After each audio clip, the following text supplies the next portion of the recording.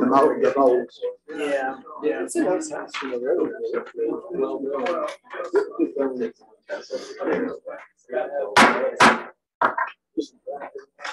Yeah, so I, I just, uh, at seven o'clock, I'd like to call this, uh, meeting to order.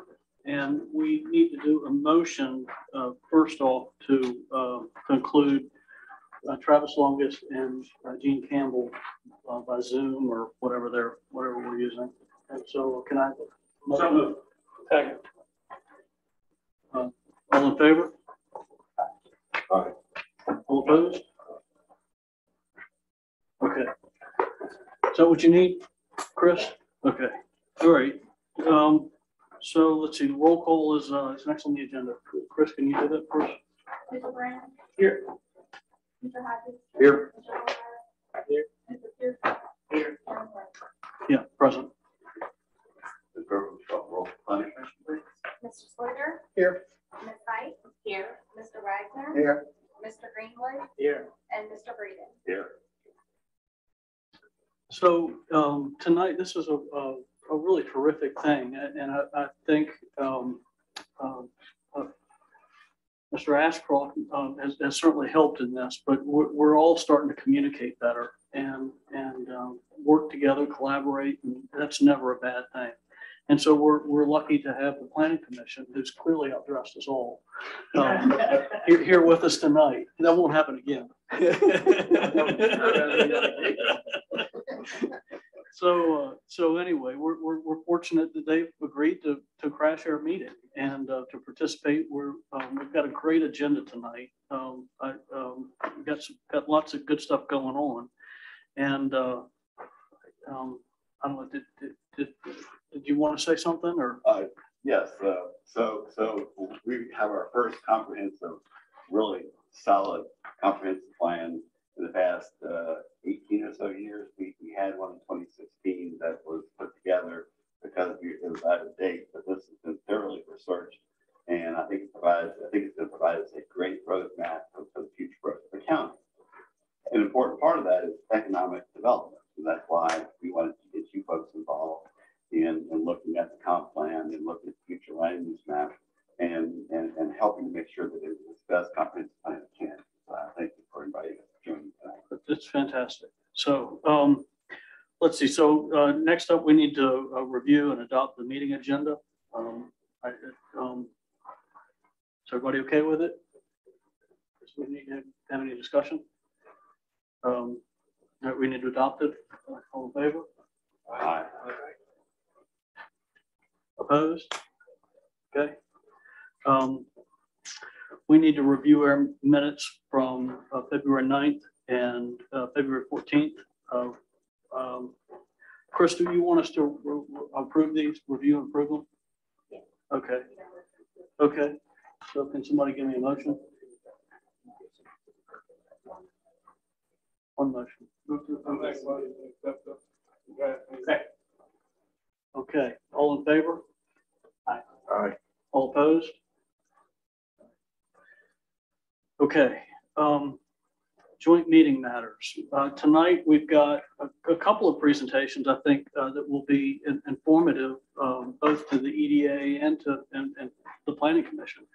Uh, we've got RKG who's gonna be with us and join us and uh, give us the second installment of some work they're doing for us. There's, there's a second phase to this uh, that gets into specific site identification. Um, And, it's going to help us identify specific things that the EDA can go out and, and target and, and implement, right? So they're going to give us kind of a dot, dot, dot, you know? And, um, and so where that has some influence is um, how, how the economic piece meets and joins up with the planning piece.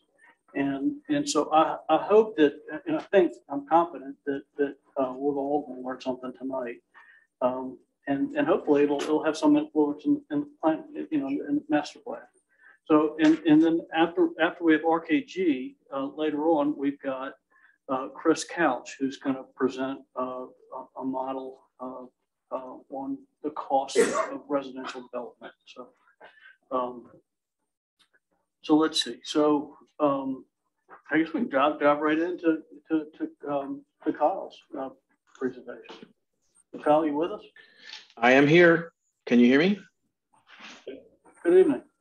Good evening. How is everybody today? Excellent. Uh, I am going to share my screen with you, hopefully. Kyle, do, do, do- would it, um, would it help just to, uh, maybe spend two minutes talking about what you've done so far and where we are and how this fits into what we did before? They, some, some of these folks haven't had the advantage of participating in that. Sure, absolutely. So, uh, good evening, everyone. My name is Kyle Talente. I am the president of RKG Associates. We're a real estate economic development and planning consulting firm. Uh, and to, to Mead's point, um, this is the second installment of the first phase, to be as confusing as I possibly can be, uh, of the work that we're doing to help uh, establish some economic development goals and strategies. Um, the first presentation we did, which was about a month ago, that I believe is attached to the minutes for this meeting, focused on the target industry analysis that we uh, prepared for the county and, and culminated in some recommended um, industry uh, clusters that we believe if the county were to proactively market towards have the greatest potential for success um, that for in terms of uh, helping existing businesses grow and attracting new businesses to the county. Uh, we we kind of finished that conversation around um, understanding just in some very general terms some ideas, some pot- potential strategies and opportunities that could uh, arise based on the result of that analysis. This evening's presentation, building upon that, is we were asked to do a preliminary fiscal study uh, to understand what the impact of development is and to provide some first blush recommendations. So, kind of fleshing out a little bit of the conversation that we had uh, the last time as a group. And so that's what I'm here to present this evening. Um, I don't mean to steal uh, Chris's thunder a little bit. I, I, had the opportunity to kind of go through his slideshow, and while I don't get near into the detail of data that he does, we did we did a similar analysis. Um, I am going to probably steal a little bit of his of his findings, so I, I do want to apologize uh, about that. So at any rate, um, moving forward, so what we were trying to do is understand the potential impacts of development, right? We talked about uh, the potential businesses that may be attracted to the community. And, and when Mead and I had talked uh, several months ago when we first started investigating the potential of doing this, is there was also the component of, okay, well, how do we also ensure that everybody understands not just the types of businesses that we should be looking at, but the, the balance of how different development opportunities create different fiscal impacts. Uh, when you boil down economic development uh, to its, its, its brass uh, tacks, if you will, there's job retention, expansion, and creation is kind of one mantle.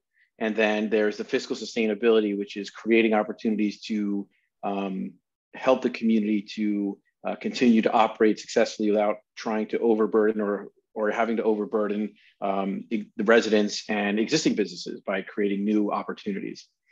And so what we looked at was the potential incremental impacts of new development on the locally focused revenues and costs.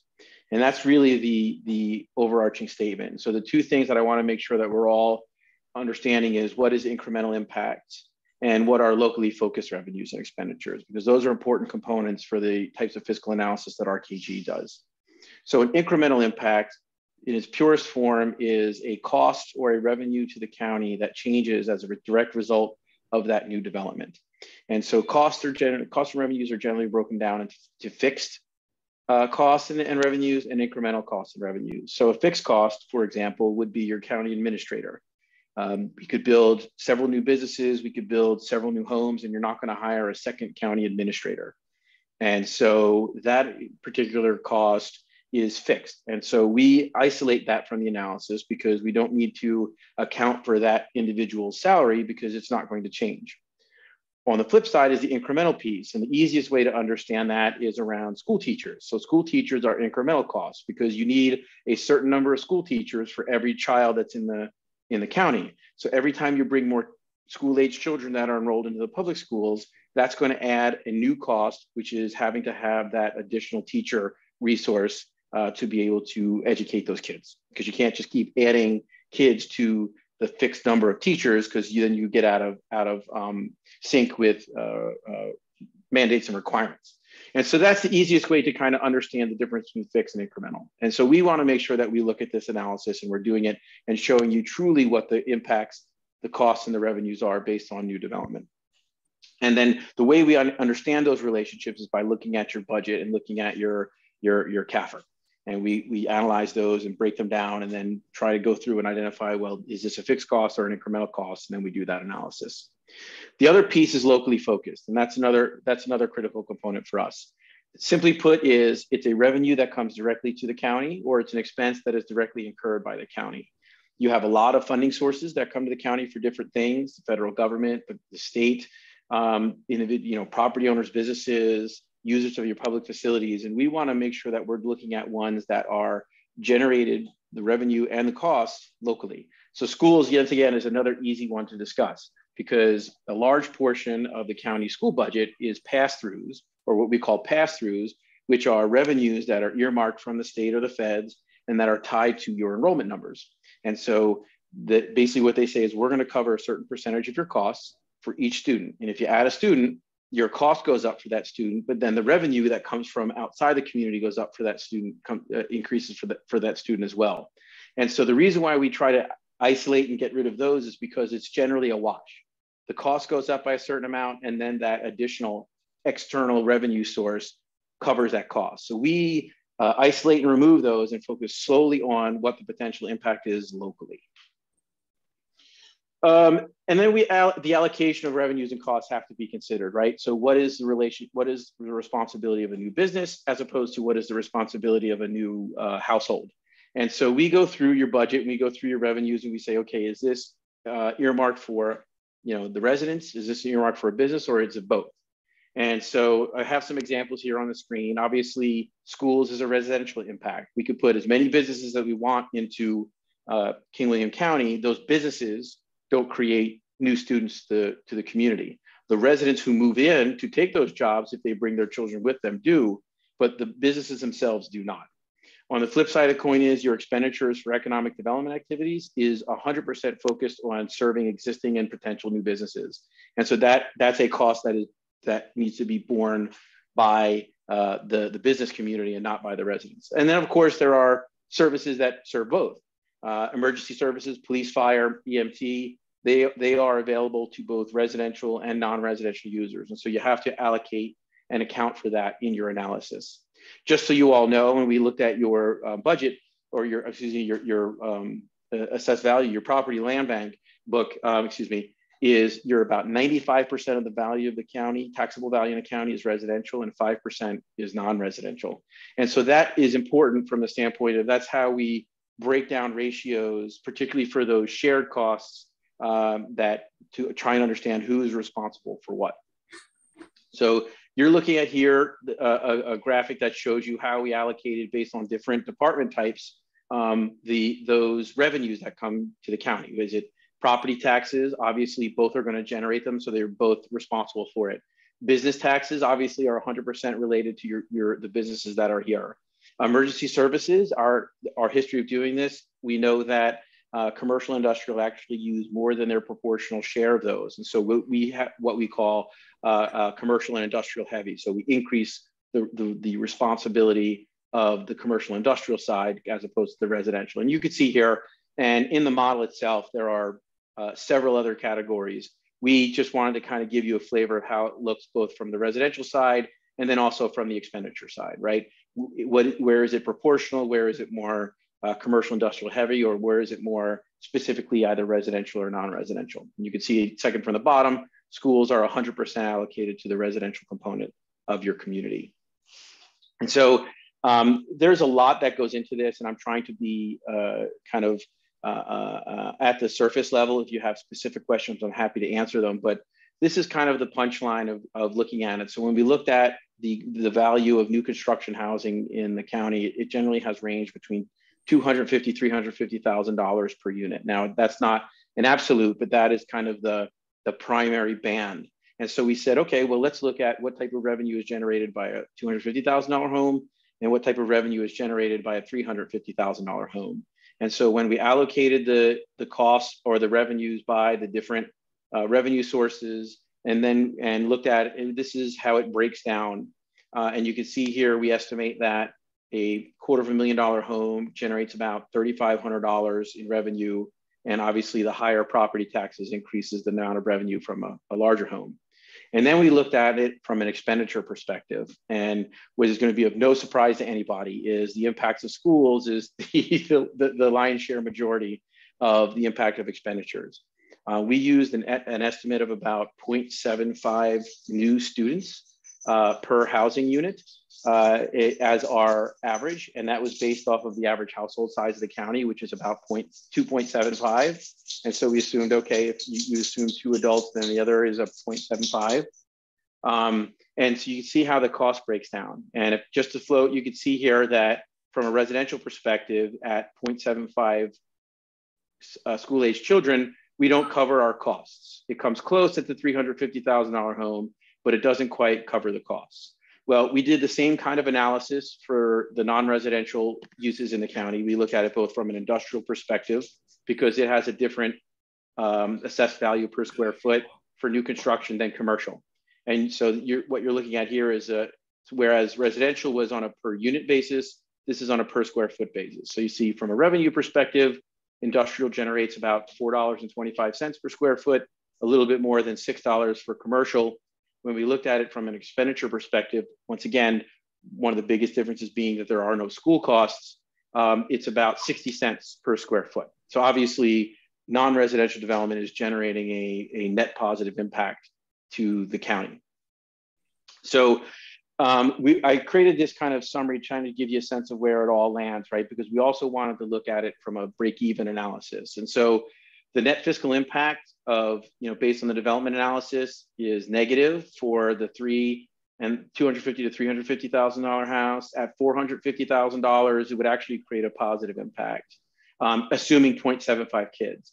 So we also looked at it from a break even. And so what you can see here is, you know, if you don't create any children, the net revenue from a new household is, is net positive, even in a $50,000 home. Um, the impact really starts to show up when you bring in children. And so a, a, household with one child in the school system would require a housing value of almost $480,000 just for the county to break even. And then when you bring in two children, it's a net near a million dollars of value for that house to, to uh, uh, account for the costs that are being borne locally, the incremental costs being borne locally for those kids. So just to kind of give you a sense of where this lands. Um, uh, and like I said, I'm sure Chris is going to come show similar type of analysis with similar types of results. So I do apologize about that. And then you can see here the net fiscal impact is, is positive, with the biggest difference being that um, retail, uh, commercial, uh, particularly retail, it has a much higher per square foot value and then also creates local apportionment sales tax. And also, if it's a restaurant, creates local meals tax. And so that's the reason why you see a higher number for the commercial than for the industrial. And so that's that's just kind of the summary of that particular analysis. Um, as I mentioned earlier, we were also kind of asked to kind of give some very high level preliminary recommendations as part of this phase one, kind of, you know, just based on the look that we did and the engagement, the communication we've had, the review of the, the, the comp plan process, you know, what are some of the things that we would look at? So I kind of broke it down into a couple of categories. The first one being land use.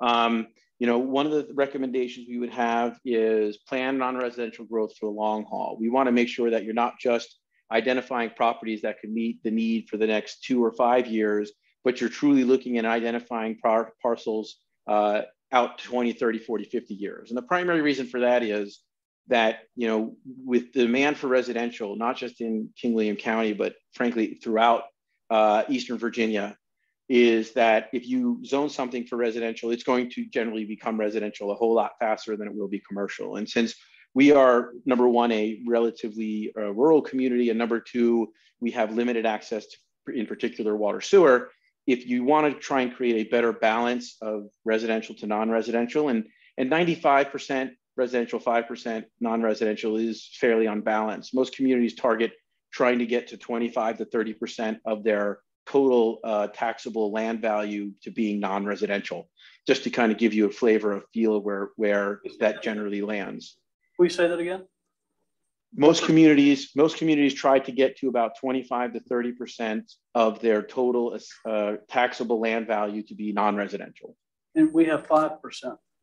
Right now, yes. And so, um, and so obviously from a strategic and from an infrastructure perspective, focusing along 30 and, and 360 is going to be the most important thing the county can do. Uh, from, just from a, a market perspective, that's where those businesses are going to want to be for visibility and for transportation access perspective. But like I said, also from an infrastructure, because that's where the infrastructure exists. Uh, the next piece would be established residential policies to balance quality of life and community character. For those of you who were with us last time when I presented last month, you know, there's a, I, I know there's a strong desire in the community to see an increase of retail services to improve quality of life. And when we looked at the, the spending analysis, it was shown that we're really not very strong right now to be able to attract much more. Uh, there is demand for you know new restaurant space and maybe augmenting some of your existing businesses, but there's very limited other opportunities to attract entirely new businesses. And so, as I mentioned last time, I'll say again, the primary way that you're going to be able to become more viable there is to increase spending potential, which means more households in your community. However, I also recognize that there is a community character and a scale that uh, King William prides itself in, and, and values very highly. And so, you know, balancing between those two, I think is going to be an important piece. So some of the ideas here, maximize the potential of areas that have water and sewer that are earmarked for residential. So look to see if you can do higher um, per, per unit per acre development so that you can get more into more households, which means more spending, which means more potential for additional commercial space. Um, central garage is definitely the area where we would encourage you to try and cluster that residential development. The closer in that is, the more likely they will be to, to um, uh, uh, patronize businesses in the central garage area. If they're all the way on the western edge of the county, they could head further west towards 95 and that corridor. If they're further east in the county, they could they could consume uh, um, in, that area, or even jump down into the, the the James City County Williamsburg area. And so having it in Central Garage is going to be the greatest potential to try and strengthen that retail core that you already have established in the community. Um, consider expanding medium density and mixed use areas, in, both in terms of their footprint, uh, as well as in terms of the allowable density in those areas you know, and, and I kind of put this in here because we, we had a good conversation about this last time. You know, I understand the community wants a pharmacy, but is it enough to allow the, that type of housing development needed? And we'll talk a little bit about future steps in terms of using a build out analysis to determine if what we've identified in the in the comp plan is going to be satisfactory to be able to meet some of these, particularly the commercial quality of life uh, goals that we have. The next one is to consider a light industrial zoning classification that can be create both a buffer between heavy industry areas and residential areas. That's the one, one benefit it creates. The second benefit, it, it creates a little bit more flexibility in some properties, in, in our mind, particularly along the south end of 360, uh, uh, that where you can have flexibility. Could it go retail? Could it go to you know lighter, smaller scale industrial? And it allows you some flexibility. And so we think adding that in as an opportunity can help from an economic development perspective as the community grows and as markets change. So you don't have to keep either rezoning or do out of turn plan amendments and those sorts of things. Um, it, it also, like I mentioned, also helps scale back from some larger, heavier users, both existing that you have now and as potential as if, if a new user comes on board. It's a good way to create a buffer. You know, unfortunately, in, in many communities, there are, are lots of stories where a, uh, a good commercial or industrial use existed and existed for a long period of time. And then residential, you know, started getting developed and it butted right against that. And the neighbors who moved in got very unhappy because they didn't like the noise or they didn't like the smell or they didn't like the lighting that was there. And then they complained. And unfortunately, then those businesses get driven out. And so the goal here is definitely not to displace particularly some of the, the, the, the little non-residential activity that we have, but it is how do we do it and do it in harmony. And so those those light industrial uh, zoning classifications can help create a buffer, uh, particularly in areas that are not right on 30 or 360, that which is where any new retail is going to want to be. And then finally, and this is uh, uh, an, economic, just an observation based on development trends, you know, we recommend you make self-storage a conditional use. Uh, you have a substantial amount of it. It has been a good bit of the development that has occurred in the county in the past several years. And from an economic development perspective, it is it doesn't yield jobs or it doesn't yield many jobs. It doesn't yield high paying jobs. It's marginal in terms of the tax revenue it generates because those buildings aren't the highest quality. And so there are, if we're truly going to try and bring in non-residential development and we're only going to have a certain amount of land area to do that, this is one of the, the least valuable uses from an economic development perspective. The next one is capitalize on the logistic potential in Western Route 30. I'm going to flip my slide just for a second here. Uh, this is the this is the um, comp plan map that was shared with me. I'm talking about over here on the Caroline border. We talked about this last time we were together, but for those who weren't there, um, it's a straight shot along 30 past uh, Kings Dominion to 95. And if there was appropriately zoned land, uh, warehousing, distribution, those types of uses likely would have some, some potential in that part of the county. And since there isn't water and sewer out here, those types of uses, uses are the most likely because they're just not heavy water users, like, for example, um, uh, the, the uh, paper uh, uh, facility and then the, the Purina facility. And so we encourage considering looking at more um, opportunities for that logistics over here. I'm not, we're not as bullish on doing that on the 360 and 30 quarter in this area. We think that there is potential for production-based economic development. And as you grow residentially, more commercial-based uh, economic development, which is gonna have a higher um, taxable value. It's gonna have, create more jobs. It's gonna create better jobs. And so we would like to see those uses focused here where, and if we're gonna try and address logistics, this, this seems to be the most likely and also most cost effective.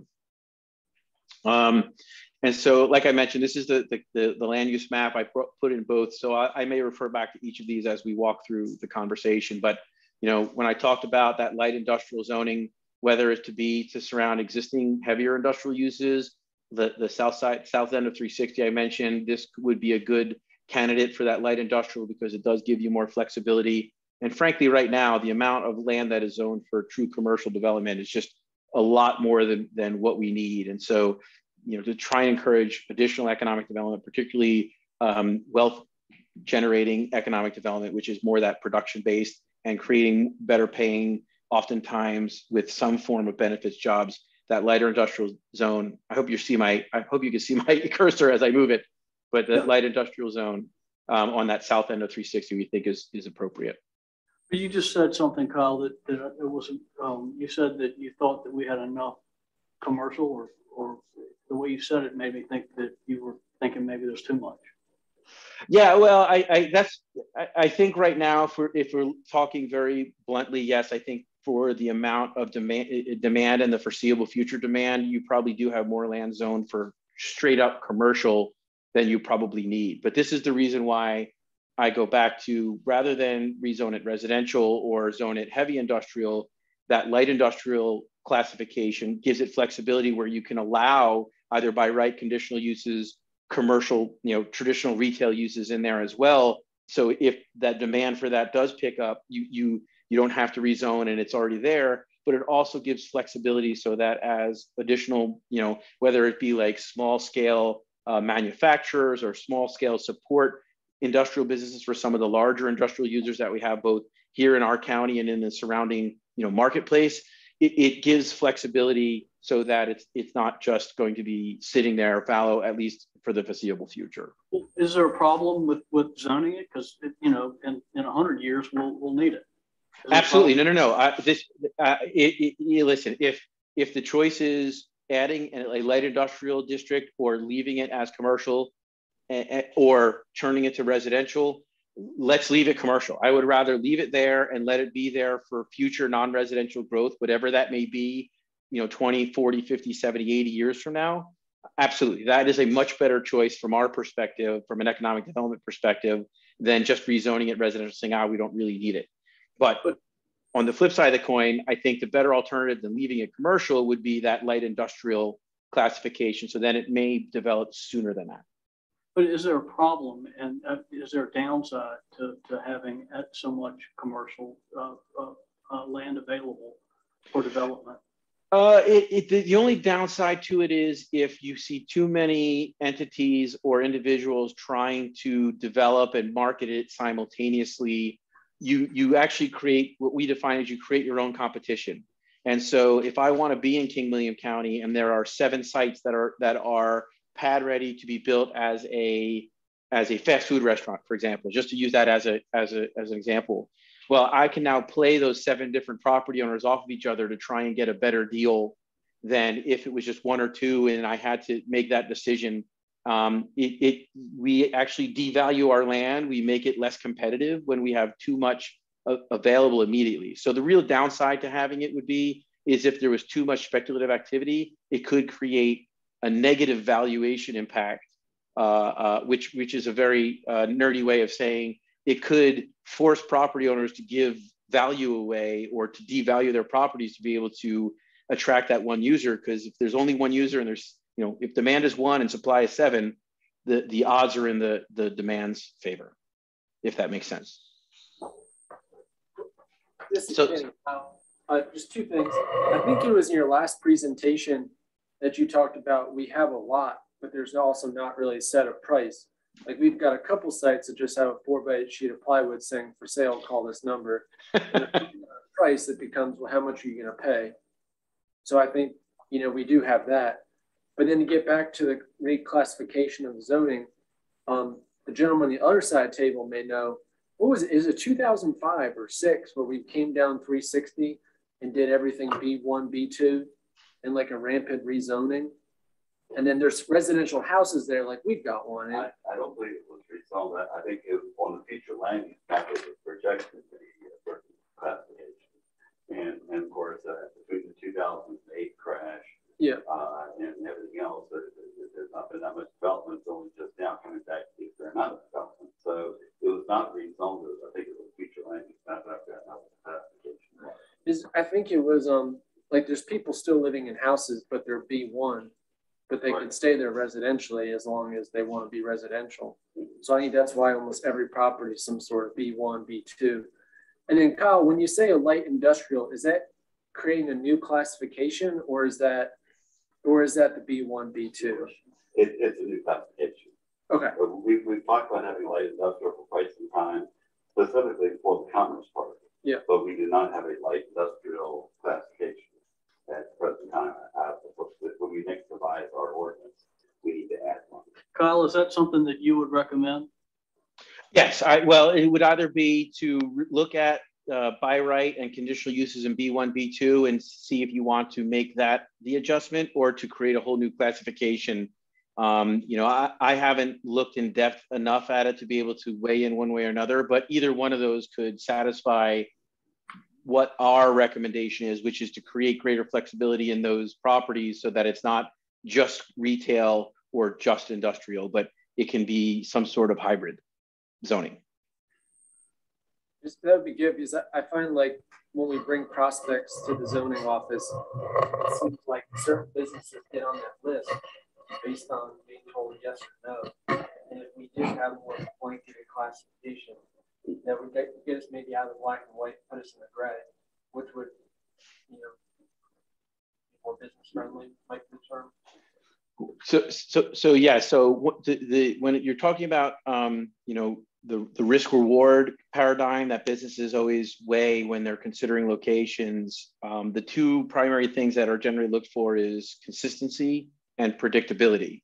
And consistency is to be able to predict, to understand how the community is going to react because you have a, a history of, of, of, a similar situation and then reacting in a, in a consistent manner. And then predictability is uh, if I want to come and do, you know, a small 10,000 square foot uh, light manufacturing operation, and it's not a by right or it's not even conditional use, the my ability to predict that you're going to approve it at the end when I have to spend tens of thousands, if not hundreds of thousands of dollars to get to that decision point is going to scare me off. And so to that point, yes, I think creating greater flexibility within your zoning so that it could become more consistent and more predictable to the end user will make you look more business friendly. One of the things we've heard quite a bit in the last couple of years, we've never been told it empirically by a professional, is that we are more suited for light manufacturing than a lot of other things. which would then warrant us having a light manufacturing uh, designation districts and, and identify where it would fit. So you would agree with that or disagree? I do. I, I do agree with that. I think it's scale, right? I think you the, the uh, King William County does have the potential for light scale manufacturing, but it's once again, it's going to be on the scale of 5,000, 10,000, 15,000 square feet. It's going to be the small maker. It's going to be the small support industry business to either a manufacturer somewhere along 95 or along Fort or, or along uh, Fort 95. Uh, and, and it's not necessarily going to be, um, you know, the large producer where they need 100,000 or 200,000 or 300,000 square feet of building space. It's not to say that that can't happen, but what I'm saying is from a from a what is most likely to happen and where you ha- will likely have the greatest chance of success. Yes, it's that light manufacturing, smaller scale, and then having a zoning in there that that allows that by right and sets very clear policy. I think would benefit the county. I made if I could, on the um, future land use map that Cal, that Cal was showing us there a while ago. The area in orange on three sixty between Mill Road and Firehouse. We have designated that, designated that as a mixed use. And the mixed use could include light industrial. Excellent. So I have a question. We have industrial on the map right now. We're saying that we already have that defined. So are we simply creating a new definition because our buyers are not smart enough to know that the stuff that they can do in industrial can go into there now? Like oh. light industrial can go into industrial right now, Light correct? industrial can go into industrial, but light industrial you don't want next to a neighborhood. You want your industrial. Right, but what I'm saying is, is we have zoned industrial. What people are talking about is creating a new Right. definition. Yeah. Yet we have industrial right now. So if I designated industrial, I don't need to create a new category. I already have that category, correct? That light industrial fits in. Most, most, you put- lo- if I'm in this correct, Now go ahead. most localities have both light and heavy industrial as two separate categories. We, we probably would not want to have heavy industrial in a lot of places along three sixty. And we want to have those certain designated areas. They could be surrounded by light industrial. Um, so, so, so yes, a light industry could, could, could, uh, could, could park itself in a heavy and just a regular industrial area, but we, we think it's worthwhile. And again, hope, hoping Kyle will confirm or, or, or deny, uh, having additional light industry that could, that could be in the same areas as commercial. And the two could be in harmony. We kind of had that already in, in the King William, uh, Commerce Park. We actually have some, some commercial as well at least one light industry that folks don't even realize is there because it's so light. So, So yes, I, I I'm, I'm sorry. Yeah. I was going to say yes. I, that I do confirm that. I think once you are the the first gentleman is correct. You could put light industrial, industrial. That purple area that you see on the map right now is somewhat built out. We don't have a lot of uh, parcels and land left in there, and so there is potential for future growth in the industrial. And and that right now, at least in this area, based on this future land use map, is the only place where it could be. And so it's both. It is it is um, creating additional spaces where the lighter manufacturing operations can go rather than just that one, because that one, uh, that's where the, um, I believe that's where the Purina, the, the kitty litter plant is, and they consume a good bit of it. Um, so it's expanding how much we have available. But the other point that the second gentleman was making is absolutely true is it creates an opportunity to create a complementary use to commercial development that is also more visually palatable uh, to you know being along the, um, the, the, your major highways.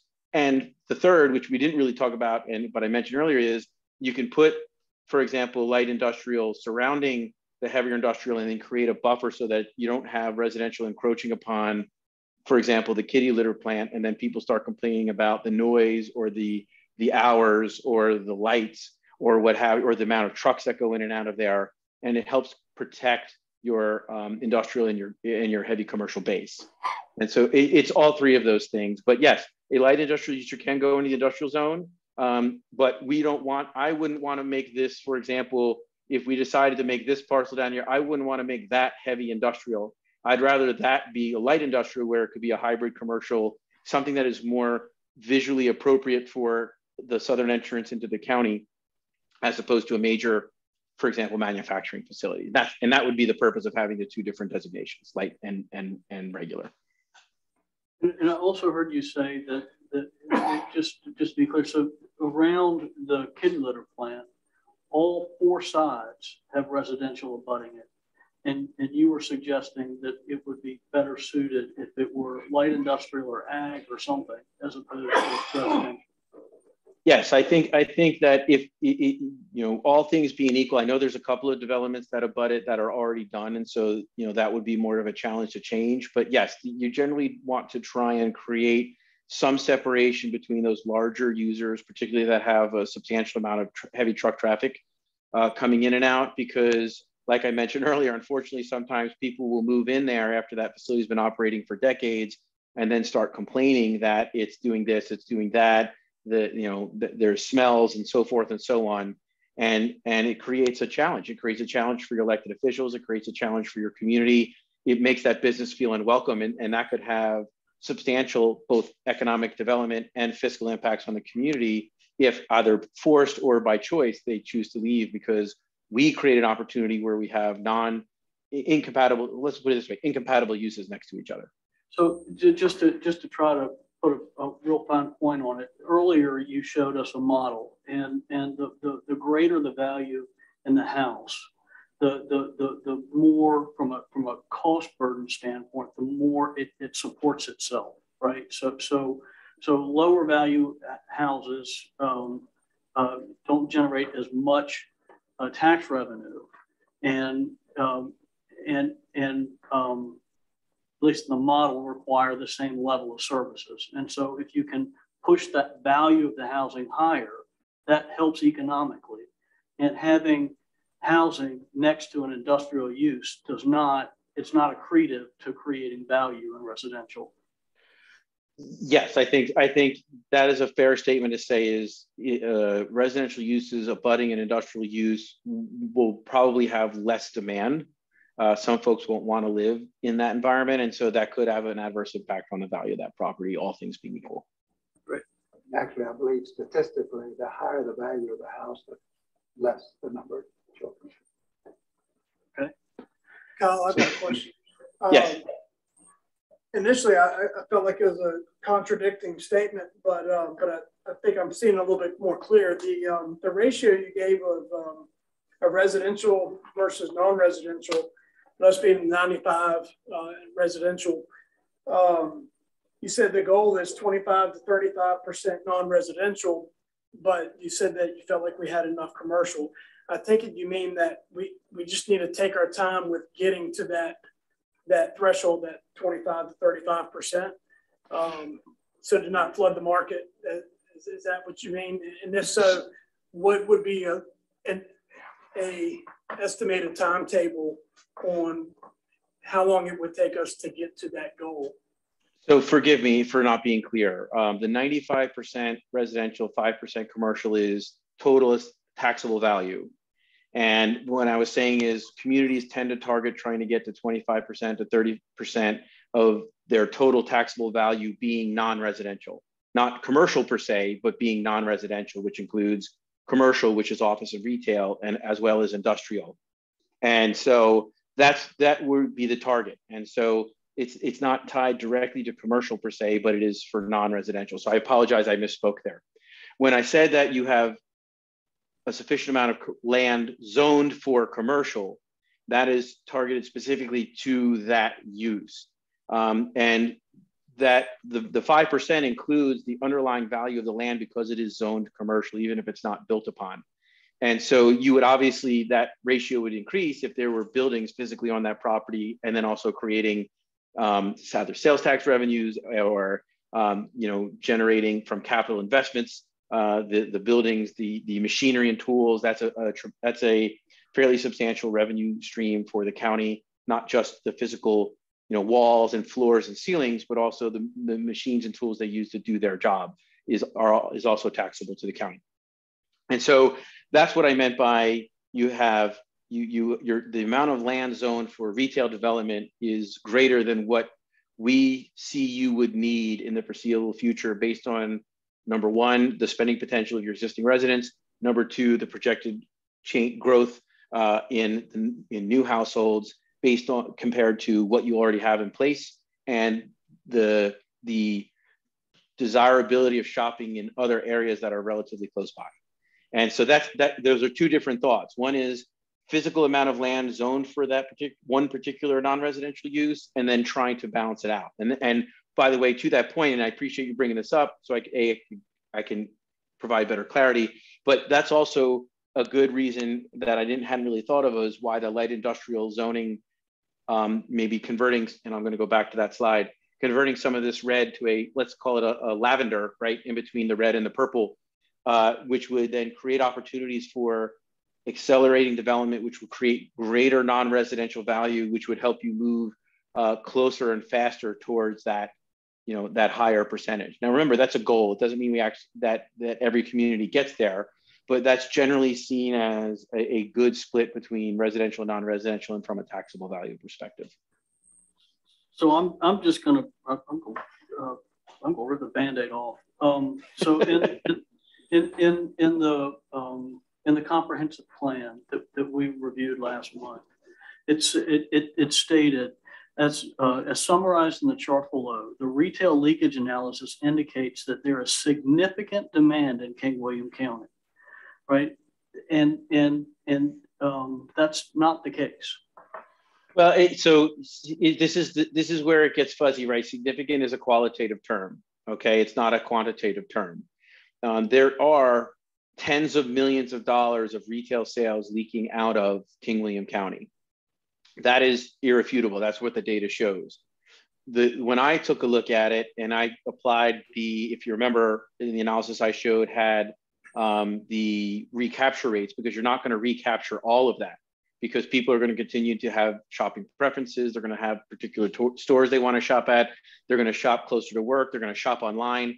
And so while you are leaking tens of millions of dollars in, in retail sales, it is not likely, and frankly, highly unlikely you're going to capture all of it. So you do have, you know, someone reasonably could say it's a, a significant amount of, of leakage, but the, from our analysis, that doesn't translate into several, the, the enough demand to support several new businesses. What we looked at, what we saw when we did our analysis was you have an opportunity to help existing businesses either expand hours or expand product lines or maybe get a little bit bigger. They go from you know 5,000 square foot to 6,000 square foot, but the the the data didn't really support bringing all new stores to the marketplace because there is a threshold, as we talked about last time, there is a threshold that new stores um, will require in terms of capturable sales that support that square footage before they'll come in. The exam, I, will I'll continue to pick on pharmacies because, Mead, I think that might have been one of the first things you said to me when you and I talked all those months ago um, is you know a, a, your traditional credit tenant, you know Rite Aid, CVS, Walgreens, um, pharmacy requires between 20 and 40,000 square feet of supportable square footage sales, and that's a lot. Um, and so it, it, you you had, if I remember correctly, and I, I, don't quote me, you guys have it in your packets, but it was like somewhere between three and six thousand square feet of supportable square uh, um, sales for supportable square footage in pharmacy. Well, we're way off 20 to 40,000 square feet at you know three to five or three to six thousand square feet. And that's the that's the point. I, I it, this is not in, by no means a, a, disparagement of the analysis. I think there are a lot of leakage. There is a, a, a, a bit of leakage coming out of the county but the problem is how much of that can we get back and then what does that translate to in terms of supportable square footage and if i may uh, we, we gave you all the presentation to the hill group and uh, they took a look at it. They confirmed that actually their numbers and yours agree. Uh, they talked about how you all discussed the projected capture of the leakage, which has caused some confusion. So, so, so, so you were talking about projected capture. They were not really talking about that, so they're going to clarify that, that in the revision. So, so thank you very much for, for helping us with that. So where, sure. where, I, where I was going with it, Kyle, if you could pull that map back up. So I, I think that, that um, so the the red is is commercial, and and there's some portion of that that's brand new. And, and particularly on the south end of three sixty, I think what you're recommending is we switch from commercial to light industrial. That, that, um, we could, um, that, that fixes the the cannibalism that you talked about, that fix, that, I mean, it fixes a whole bunch of things. It, it's, a- it's an option that, that we're recommending the county consider from an economic development perspective, yes.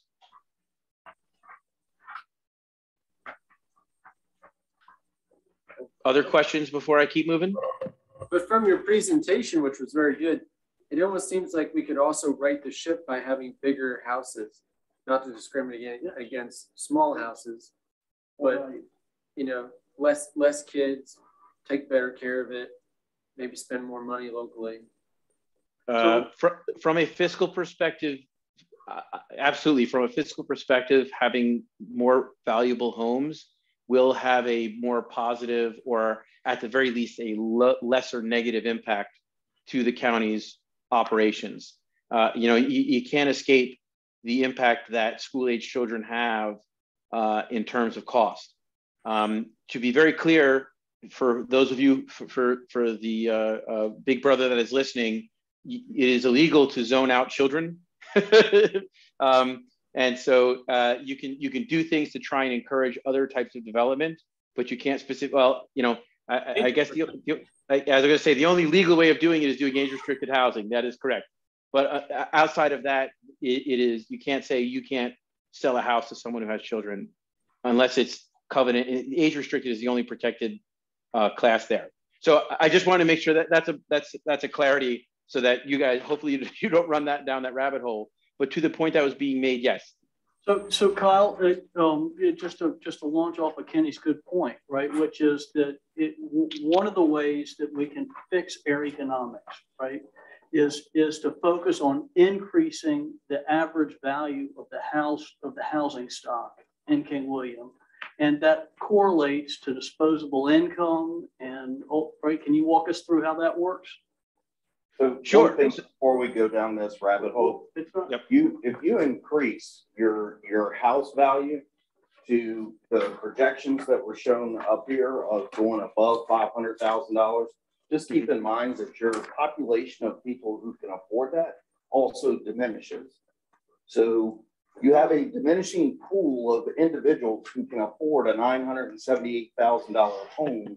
And quite honestly, a nine hundred and seventy-eight thousand dollar home in this county, what industry supports that right now? Here. well, uh, well so there's a there's a If we're going with larger homes and, and making this statement out loud, yes, that does have an impact on. I, I, I, didn't- I didn't say larger. I, I never, I never talked about the size of houses. What I talked about was increasing the average value of the housing stock in King William is exactly how I stated it. And well so well anything we can do to increase the value, the average value of our houses, it's gonna help us. It's not, it's not hurtful.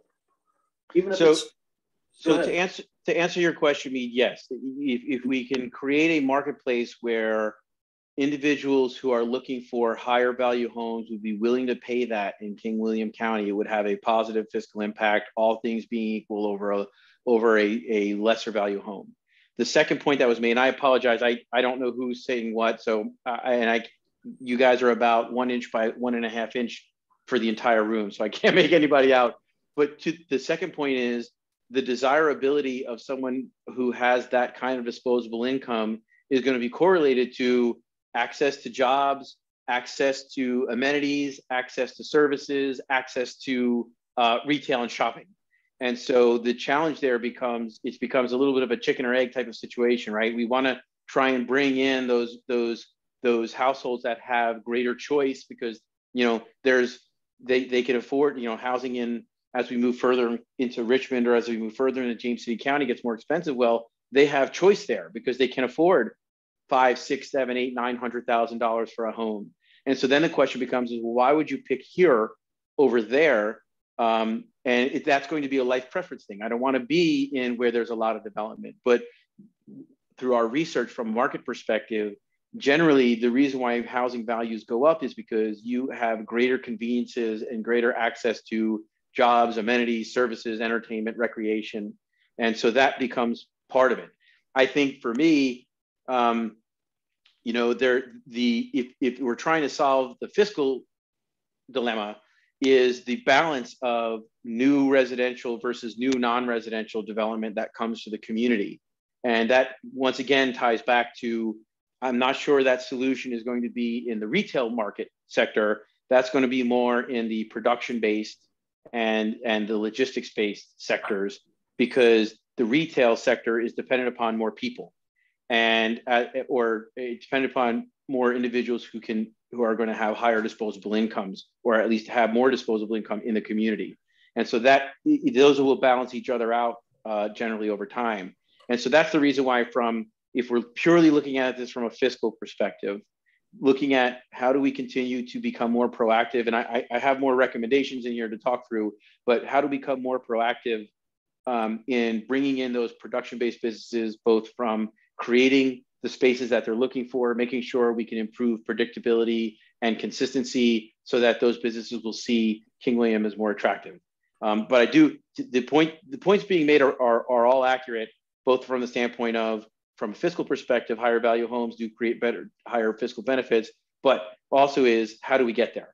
And then what does it take to make that happen? And we have to be very strategic because you know, as you get into those extremely, I would define as high luxury values, um, they do have choice. And we, just like we're, we may not be the most competitive for certain types of businesses, we also may not be competitive for, for certain um, um, and buying, buying groups right now. Kyle, I've, I've started this whole thing and, and we've had some great dialogue here. Do you want, you want to try to finish your slideshow? yes, absolutely. Um, and, and so, and so from, so, so, I'm sorry, did someone want to say something or? I just have some observation, but I can wait till you finish the slide. Okay. Okay. So, um, so from an asset development perspective, having more ready to go sites, if you will, shovel ready, pad ready, um, you know, uh, the potential for speculative buildings. We think this is an area that the county should consider to accelerate the demand, particularly for those production-based businesses. I, as I mentioned earlier, this is, doesn't mean let's activate every single piece of property simultaneously. You need to be strategic about it and focus on one to two sites, one to two, maybe a single shell building at, you know, 20 to 40 to 50,000 square feet of a building through a public-private partnership would, would make you more competitive, but also then not create your own competition, if that makes sense. And, and the, the, the linchpin of that is engaging with your property owners, particularly for those key sites, and seeing who's ready to pull the trigger, who's ready to make an investment. Um, the point that was made earlier about we have signs saying for sale, but there's no numbers. This is exactly one of where that where the, that fits into our recommendations nicely is you need to at least have a that's the first step, right? If you have a raw piece of land, at least you have to have a price and that price has to be realistic to what the value of a raw piece of land is, reflective of that we need to do the site preparation, get the infrastructure put there, and then physically build the building. If, if I'm, and I'm for the sake of the conversation, if my land is worth 10 grand an acre undeveloped and I'm asking 50, and, and all that work still has to be done, that's going to be just as detrimental to economic development as not as having too much uh, uh, assets available to you. Um, we talked about already we talked about this, expanding the industrial and potentially light industrial boundaries in Central Garage with the flexibility. I don't need to belabor that anymore. Um, engage your ag community to explore the potential for value add economic development assets. And some examples are a, a meat processing facility or a cannery. The val- that's the value add. We have the raw materials, we have the animals, and we have the, the products. But how do we do the value add where they could be, you know, ready for store sales? And so this could be something that we do in, in partnership with the cooperative extension. It's going to require engagement because it's going to more than likely be a public-private partnership with those with those farmers and ranchers.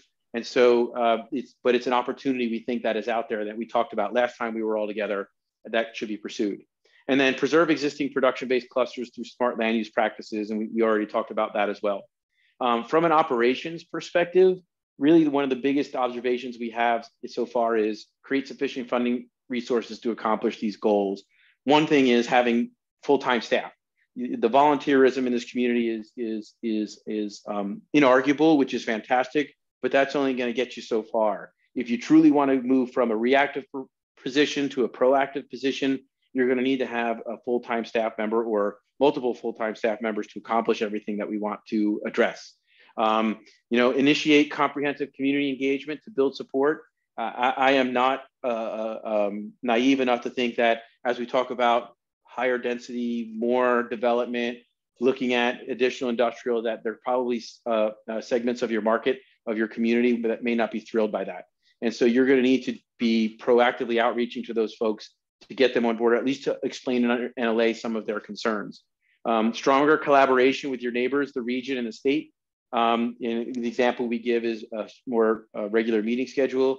Once you have defined what you want, what you want to be, and how you want to be it, and your comp plan shows that you're willing to do it, your partners need to know that that's what's going on, particularly your Go Virginia reach in the state. The more they can understand what you want, what you're trying to do, and how you're trying to do it, the more likely they can be an asset to help bring those types of companies to you when, when there's interest. Uh, enhance your virtual economic development presence. And I tell this, it's not just you, it's all my clients. 90% of business site location is done virtually these days. The, the site selectors, the individual businesses are doing their research online, they're going through, looking at communities, and most communities are eliminated before they're, they ever even know they're being considered. And if you don't have the information they need, everything from the types of businesses you want, the types of incentives that you have, what the cost of land is to be able to advertise an actual dollar amount, not, not call this number to get, a, to get the price, the more information you can have available that someone can find, the more likely you are to be successful in business recruitment. And I, my closing thought on it is all the things we just talked about in terms of opportunities on the last few slides are going to require money and staffing. And so I wish I could, you know, I, I, I have been impressed and in awe of the engagement and energy that Mead has brought to my process uh, from finding me directly to managing this and engaging with me. But once again, as a volunteer, there's only so much that can be done. You, you truly are going to need additional resources and, and professional staff if you want to move to that next level. So that's that's that was the rest of my presentation. I'm happy to continue to address um, questions or, or comments or observations. Yeah, Kyle Don Wagner, I'm with the Planning Commission. Um, right now, we have three major developments in the county that are totally residential. Uh, several hundred homes in each one of them no business, no commercial whatsoever.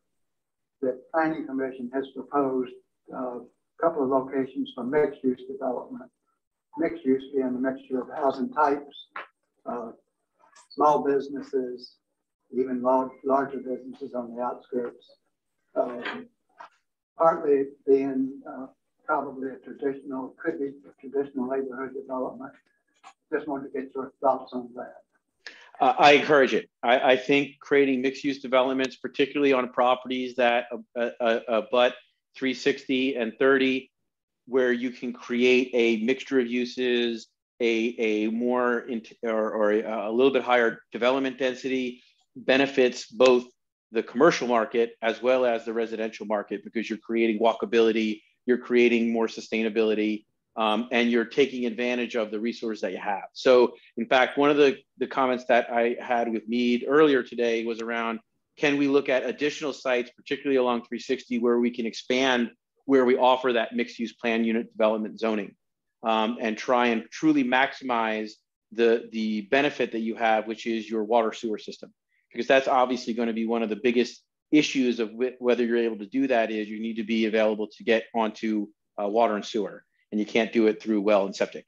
And so the fact that that exists here, we would encourage you to look other ways you could do that. And once again, the potential to uh, uh, what does that mean in terms of being able to reach your additional goals? Because that's you know the next steps. The phase two that I mentioned that hopefully we're going to get going on soon is a more detailed real estate market analysis where we start identifying specific sites we think have the greatest potential. Um, it's a more comprehensive fiscal impact analysis where we'll truly dig deeply and make sure we update and give you a more refined response than what we showed you this evening. And then a very fleshed out, you know, this is kind of like, hey, these are some of the things you should be thinking about. Phase two is really where we drive down and start giving you very discrete action steps. And then one of the additional things that we I mentioned earlier today to Mead was a build out analysis, which is okay, this is how much we're proposing for mixed use. This is how much we're proposing for medium uh, uh, re, uh, density residential. This is how much rural residential. what does that yield? How many units can we get out of that? And then what does that mean from an economic development perspective?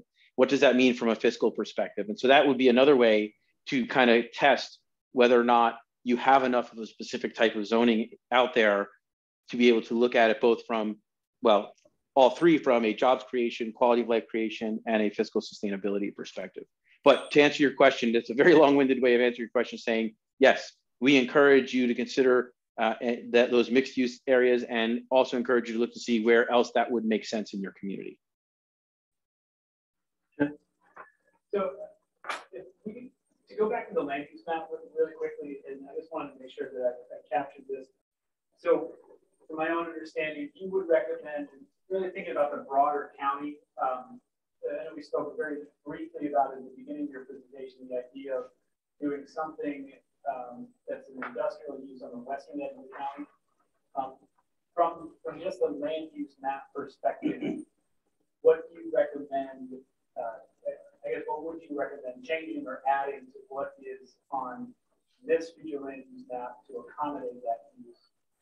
So, so in this area, particularly where you show, so what you call rural commercial, are there any sizable tracks that have direct access to 30 um, that could potentially be a, a, a logistics-based business.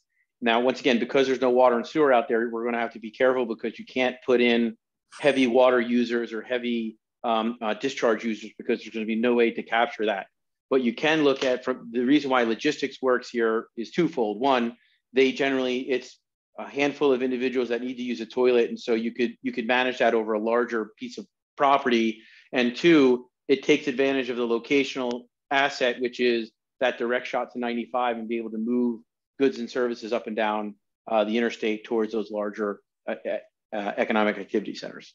So just from a designation standpoint, the, potentially the expansion of that rural commercial designation could accommodate that recommendation. That, that's a great question. I don't know. I don't know if it would be better to do it through expanding the rural commercial or if it would be that light industrial where you include, you know, the, the capabilities for warehouse and distribution. Um, I, the, I would have to dig deeper into that. Frankly, Hill Studios probably would be better because they they they have more experience in those specific issues. But yes, it would either have to be reconstituting uh, what is allowed either by right or through conditional use in rural commercial, the implementation of that light industrial, um, or some some strategy where you, you you frankly you can zone it industrial and no one's ever going to put production out there just because they're never going to be able to get the water and sewer. It's not going to be cost feasible to do that. So if that's that those uses are already allowed in industrial, putting that industrial nomenclature out there would would allow that while not at no risk of like a heavy manufacturer moving out there. So the one thing that I'm trying to reconcile in my own mind, right, is is is so when we look at at, at our county, it makes sense to put that the use we're discussing in the, in the western edge on 30, right? It just it makes sense. But every site between uh, the Caroline um, County line and 95, if, if development costs and land costs are the same, is a better site. In, if it's zoned for that, yes. So you would have competition there. And so this, I don't know what the zoning is in Caroline County, to be frank with you. Um, but if, if just for the sake of this conversation, if Caroline zoned every inch of that land between the county line and 95 for warehouse and distribution, they would have a competitive advantage. And so, uh, uh, to your point, you would probably want to know what their future land use is for that. But once again, it's also over time that will all become built out. And so then this stretch of 30 would be the next logical location for that. And so maybe it's maybe this is a 30 year strategy instead of a 10 year strategy. But it, we just wanted to make sure that the county was aware of it from an economic development perspective so that you could you could make decisions, particularly through your comp planning process of do you want to earmark some land for that, either short, middle, you know, or long term, or do you you just don't see it, or there's going to be too much resistance, or whatever the reason may be where you don't want to do that. That's all. But you, you make a valid point, Mead. One more question this may be more just a general conversation for, for colleagues in the planning commission. And I do have to confess that when I look at the future land use map, I, I, I am ignorant of the current land use map. So that I'm trying to, I guess my, my question or where I think a point of conversation based on what we've heard, is what trade-offs are we making from agricultural uses or commercial uses to residential uses? And what is the economic trade-off of, of adding, um, land into a rural residential category or into a medium density residential category? And is that the kind of uh, future use that we want to anticipate, given what we've heard tonight with the, the typical value, property values that go into those rural residential or mixed density residential um, categories or destinations or classifications. If, if I may, and, and so for me, the future land use map, is does, well, correct, in fact, the future land use map is not current zoning. What the future land use map is what the citizens, the EDA, planning commission, board of supervisors all think we should do. When, when something comes before me, its future land use map calls for agriculture and they want to put high density residential, my inclination is to deny it. On the other hand, if the citizens have weighed in, the supervisors and everybody else have weighed in to say, yes, we think this is a good place for high density residential, when the, when the application comes in, I'm more inclined to recommend approval.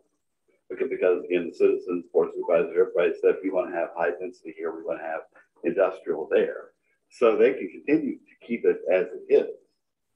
Uh, but, but if they want to do something different, the future land use map helps inform us. Future, like, future land use is a is a guidepost, right? for us Yes. to Think about what could be here in the Yes. future. what could be in- And, and, and I'll add one additional caveat. So if, if, if it's a development that doesn't do much for us, I'm less inclined to change the zoning and recommend approval. However, if it's a wow, big taxes, big jobs, uh, something else, a, a, a, a Eastman Reichman and Elko with, with, with, their server farm. Uh, I think, which we won't get that, of course, but, but something like that that brings in a lot of jobs or a lot of tax revenue, I'd be inclined to modify the future land use map and still accept that type of development. So, so it's just a guide for us. Well, it, it, it, it's what we're looking at over the next twenty years, how we want to grow. But we're gonna be looking at this every five years, and probably less than that, probably every two, three years, we'll be taking a major look at this. Generally, we try to keep the major development, residential and commercial, in that three sixty corridor. Right, Which they're recommending as well. Sure. I, I- my question is about the residential and, and what we're adding on this map as, as to our guidelines, that we want to put new residential in these places.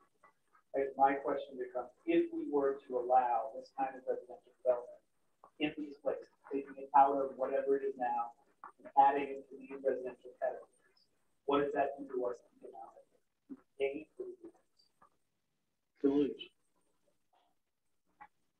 I think it's a catch twenty-two. From, from an economic standpoint, Here, here's the thing. An important part of the conversation. Here, here's the thing is that we've got the Nestle Purina plant in West Rock leak a lot of employment to other counties surrounding us. They, most of their employees commute from outside the county. And that indicates to me that there's a lack of, of appropriate skill sets within the county for those jobs. We mm-hmm. want people, I, I drive to Stafford every day. And that's simply because of the job that I do and what this county can actually provide as far as an economic basis. So I drive ninety miles every single day, one way, in order to get to my job. Jay works in Richmond. The thing is, is we may have the skill sets here, but the thing is, is what's driven a lot of people out of West Rock, living in West Point, which was their basis for a very long time, is the fact that taxes. I can live right across the line in New Kent and make the same amount of money in West Rock, but I get hit with taxes if I live here that are more than what I get hit in New Kent. That's a financial obligation that they've got to calculate in. We become the, the job location and New Kent becomes the bedroom community for West Rock. I mean, that's just a fact. So I think this is a true statement, just like thinking this through. So like Food Lion, from an economic standpoint, doesn't really generate a lot of tax value for us. Generates a lot of jobs, right? But not a whole lot of value.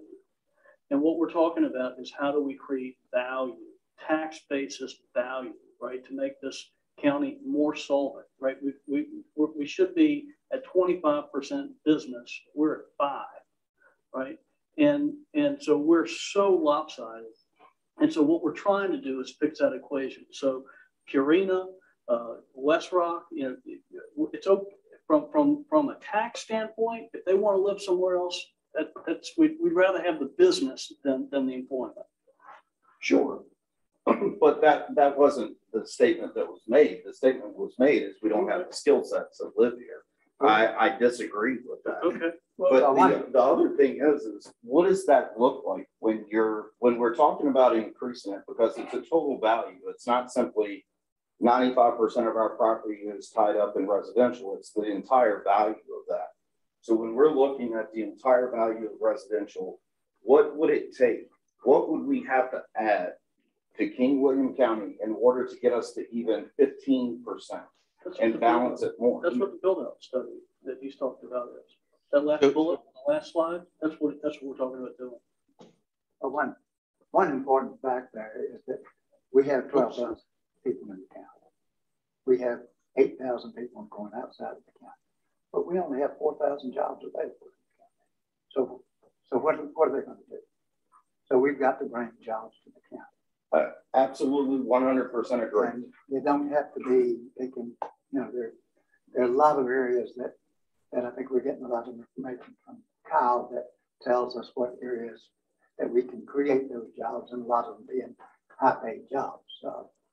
You know, and, I, I- I still think it's a catch twenty-two though, because, and, I mean, to your point, people live here, but they work outside the county. Why is that? We need to get to the bottom of, it. they're, they're living here regardless of the tax, the tax structure. So why are they going outside the county to work? Is there something our businesses here? I guess what I'm saying is that we're gonna bring more businesses here.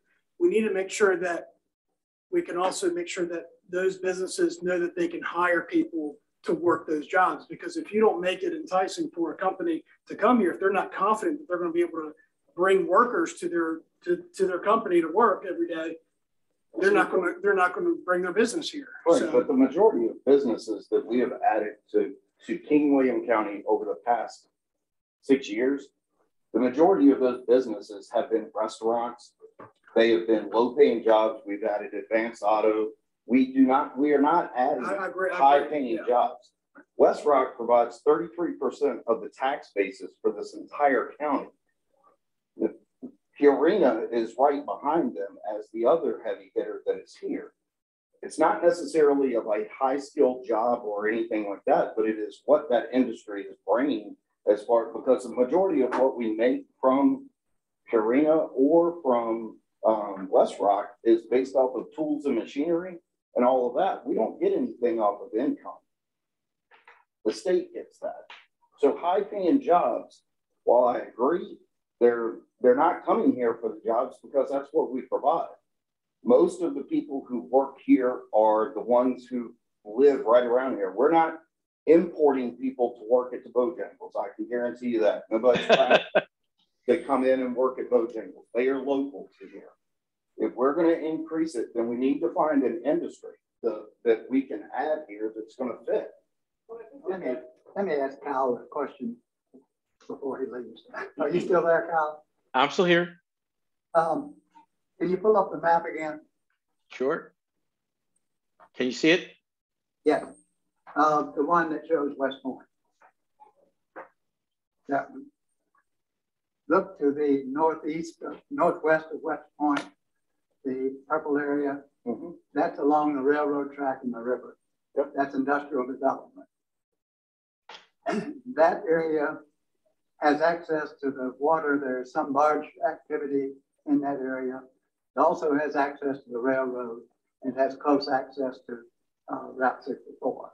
Why aren't we considering that for more uh, light industrial, industrial type development?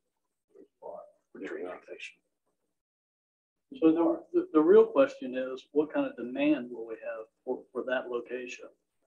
Right, and what's, what are the drivers? And we. Well, you've got, we- we you've all got close access to 64. You've got access to the water. Uh, and you've also got access to a railroad. But at the upper end of Caroline, to that point, Don, the upper end near Caroline, I'm closer to ninety-five than if I go to West Point and go to sixty-four. Yeah, to, to where, Distance-wise, to where you're, closer. to where you're going. Kyle, will you, will you all be identifying sites for us? In phase two, yes. There- There, there, are, are two things that I, I, I just wanted to suggest that, that might fill out their, their understanding of how the economics in this county work.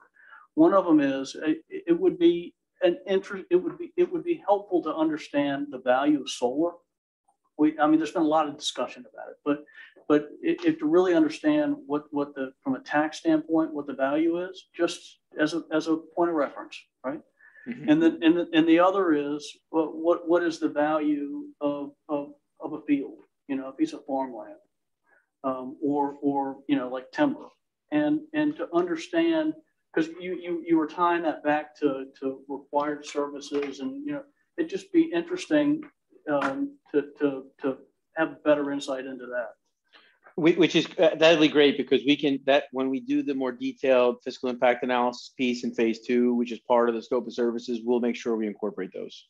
Great, okay.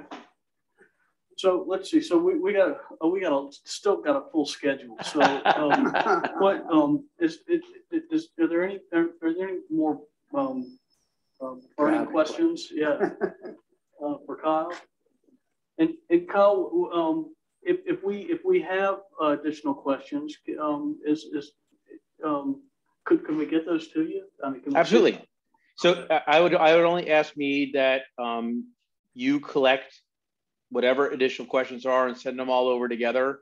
Uh, I just want, I just want to make sure, I, I, and it's mostly just for the, the, the um, tracking of it to make sure that all of them are, um, number one, addressed and that, you know, you know, you meaning the county know everything that's being asked. So uh, if someone says something, send something directly to me, I'm going to forward it to you anyway, just to make sure that there's a trail, paper trail. But yeah, so I'd say if, if you have additional questions or you're driving home or you're brushing your teeth tonight before you go to bed and you're like, oh man, I wish I would have asked this question. Um, get that to Mead and then Mead, if you want to give them a time in which to try and get that to you, to me, so that I can have time to respond to it and make sure that it's incorporated in our, in our phase one narrative. That's great, thank you. So we'll, we'll, we'll figure that out. And uh, is there, is there anything else? Nothing else. Thank you so much. This was very helpful. Yeah, Kyle, thank you very much. Have a great night, everybody. You too. Okay, uh, and so let's see, I, I, um, five B is overall comprehensive plan discussion. And so I, um, I, I guess you all get to grab that one. Uh, no, we want to hear what you got to say. Well, if, if, if, if, I may, so, um, I have to just agree with you on one thing, uh, about Mr. Wagner said that every five years we would update it.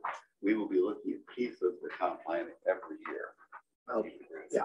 And. and- We're obligated to everybody. Well, yes, we're obligated every five years, but we're gonna be looking at some every year. And in point of fact, as, as you all get additional information, as you all identify particular tracks that are, are attractive to one thing or another, bring them to our attention. We can, uh, update the future land use map. Uh, we can even look to, to do the rezoning in advance and so forth and so on. So that's I would ask you as you go Yeah. forward to, to, as you see things that, that should be different, uh, let us know. However, we are close to recommending approval of this one, so the better we can get it now, the better off we are. Um, I, I, had gotten you all the, the very, very small map uh, a couple of months ago. I want to get y'all thinking about this sort of thing. What changes do y'all want to see with future land use map in particular? What changes do you want to see to the comp plan in general, uh, including, for example, in the goals E three, uh, there's some economic development stuff, and some of which I think you're doing, one of our goals and strategies, is something you're already doing. Are there other things that should be in the comp plan? So again, you know, uh, we, we were able to hear, uh, this presentation together. I think we've, uh, we've come to a lot of agreement, probably in some changes we want to have, but, but, but like, like Mr. Wagner said, we're interested in what you all want to see with the comp plan, maybe changes. So let's just have a huddle. What's the best way to do that? Should, should we circulate, uh, uh, something and, um, if we have comments, uh, um, should we set up a little uh, steering committee, have somebody to, to run, run There- on this, or how how do you all want to do this? The, the one thing we've always back and forth was that light industrial. That was something that maybe wasn't looked at or is, is brought into the fold. So I think that that could be pretty important to kind of resurface. How much, if any, changes are done now that could affect what's going to happen tomorrow? Well, tomorrow we'll be hearing from the citizens as a whole. Um, they, this is their chance to tell us what their concerns are. Um, I'm better, I'm personally better informed, I think the entire planning commission is, as, as to some of the changes we might want to make. Uh, but, but tomorrow is the time for the citizens to weigh in. Uh, I, I think it, it sounds like to me, we we have to add a light industrial to the, to the, uh, to the zoning subdivision ordinance. Uh, once we've done that, then, then identify those places that should be light industrial slash commercial. Um, one thing he talked about was, was actually, we have one place, for example, uh, as you have thirty or head up three sixty, there's a high density residential with, with, with, with, with, uh, low density residential in the middle there. And what I heard him say was to, to crunch more folks into a smaller area closer to businesses. I heard the same thing. Um, what changes would you all like to see in the comp plan? And, and we're getting close to the end in that the citizens will have their meeting tomorrow to voice their concerns, their recommendations, their likes, their dislikes. The planning commission will take what we've heard, heard tonight, will be here tomorrow, look at the final draft, and at that point, we'll be ready to go to the public hearing, probably in June or May. Yeah, uh, at the earliest May and at the latest June. So there's still a little more time. There's not, there's not more months, which doesn't mean to say that we can't, the week after it's approved, begin to catch things that we made mistakes on, which, which we did with the zoning subdivision ordinance. I think, you know, from the Hill Group study, they talked a lot about landscaping. And I know like whenever light industrial, as I travel for my business, you know, like North Carolina, feel does well, Maryland does well. There's great buffers of landscaping. And we have lack of none landscaping really in the county. Around new development, I don't understand new development's young, so the trees still have to grow. Well, and, and we didn't have those sorts of standards, but with the, with the zoning subdivision ordinance adopted last fall, we have a lot more of that. Yes.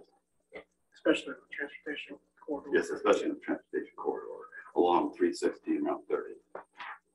Just From the, from an, just from an economic development standpoint, and looking at the treatment of economics in the comp plan.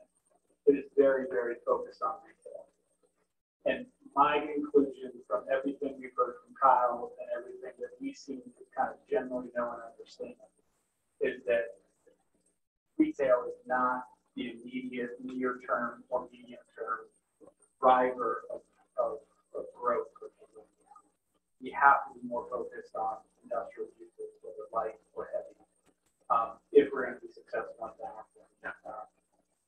So trying to find a way that, that acknowledges the limitation of, I think, I, say limitation, I'm not trying to speak negatively of anybody, but the Hill Studios approach was trying to get leakage, was trying to speak to things that ultimately are not what's gonna be the game changer for King William.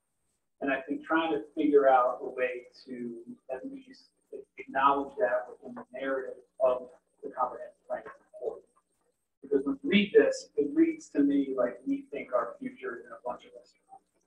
And, and I think everything that we know is that, that it- that's just not gonna help us get to where we need to be. Um, and then I think the, the goals I think are, are are terrific. And I think to your point, um, you know, this study itself is accomplishing one of those goals, so I think that's terrific. Um, from a, from a land map perspective, I guess I would just come back to, I don't know that I have enough information right now to really, uh, I would want to have a better understanding of what adding all of those residential classifications does, just from a dollar cents perspective, when it comes to taking land out of an agricultural use or out of another use. And I'm not sure that we have a- enough information right now to say whether or not that really is a good idea to make a solid recommendation about whether or not that's something that we really should. We're, we're gonna get some more insight when Chris Couch talks. He's done, he went deeper than, uh, um, I mean, whether, whether, whether it's nine hundred thousand dollar houses or a hundred thousand In, in the next few weeks, if you can get any comments from Ms. grant, that would be fantastic. So, let's see. Uh, You've been sitting there quiet and, and you, you, you study, you studied our built environment. Did, did- did you have any observations? No? Uh, It- It's okay, all right. Um, You know, we, we talked, about like kind of the bill ringers and the things that really pay you taxes. If you were to take, um, I was in CarMax a couple months ago and they post the taxes that they pay. This is the one by Glen Allen. And they do thirty million of wholesale automotive and hundred thirty-six million through the front door. So they pay Henrico three hundred and nine thousand dollars. That's not property taxes, that's not machinery and tools. I mean, we're not gonna have a CarMax here, but like a Joe's Plumbing, I don't know if it's Joe's Plumbing, so my apologies if you do. If he does three hundred thousand in sales, he'll pay about six hundred dollars in vehicle. So it, so let's connect that back to what we're talking about. So that's, that's retail. And so CarMax generated three hundred thousand dollars, three, three hundred, what was it? Uh, thirty million in wholesale, so that's when they buy any But what, what car, do they generate in tax? of, uh, three hundred nine thousand. three hundred nine thousand, a CarMax, all those automobiles, right? And so when you think about a Food Lion, right, that's re- retail is not gonna fix us. Let let me correct one thing. Food Lion is one of the top ten, uh, tax, uh, revenue in the county. It pales in comparison. to- I- yeah, I- I- It's not. I, I agree with Hales in comparison, but for what we've got in the county, it is one of the top ten. That's one of the necessary evils we got. paid. Yeah. Absolutely. That's, uh, we came to That's, that, that's that's a need that says more than the fact that we don't have enough industrial. Yes, Right. Yeah, I, it does, you know, well, we, we've got two good industries in the county and, and I, I think anybody would welcome more industry, clean industry in the county. And it will bring in more revenue. So, so But I, I, I, I- you yeah, I just, I just want to make sure that I've, I've, I've said Food Lion three times tonight. Food, what, where Food Lion real, what, what Food Lion brings is jobs. Right, so it's not, they, they definitely add value. It's just, it's just not our tax base, which is what the conversation is about. Well, we, we have, as, as uh, Jay said, we, we pretty much concentrated around trying to bring in Yeah. uh, more business and, and less residential, not less residential, but if we're gonna have the residential coming in here, we want complementary business. And most of that business is gonna be commercial. But yes, I, I totally agree that we need to look at uh, industrial. Light industrial. Kyle brought the, the recommendation on looking into a- like a cannery or a, or a processing plant. That's the type of jobs that we need right there, and, and they're gonna have the, I mean, the, the equipment that they're gonna require. Uh, you're um, right. All of that is gonna fall right, and we've got, I mean, this industrial area right here, this, the Pur- Purina has, you know, they've got space in there, that something like that could go, and it would not, you know, it would not affect anything in this three sixty corridor. Um, it, it could possibly go in that eastern part of the county near West Point possibly. I think that, And, that's so right. yeah, so if we, I mean, and look at the agriculture around us and the, and the, um, the farming that's in the, the, the, the- the ranch style farming. The, um, there's, there's a lot of opportunity there and not just in King William. Uh, they have, I think, I recall correctly, there's a cannery in, I think, Farmville that allows people to come in, you know, just your hobbyists and and so forth, that they come in, people are able to come in and bring their, all their, you know, blackberries and blueberries and everything, and they will make them into. We'll look at that. I'd- Yeah, I'd be- but, but, but they, but they had, but they had to travel, the, the couple that I knew that did it had to travel to Farmville, because it was the location they had. Out of everybody in the northern neck that does that type of farming, they could come to King William to. Right.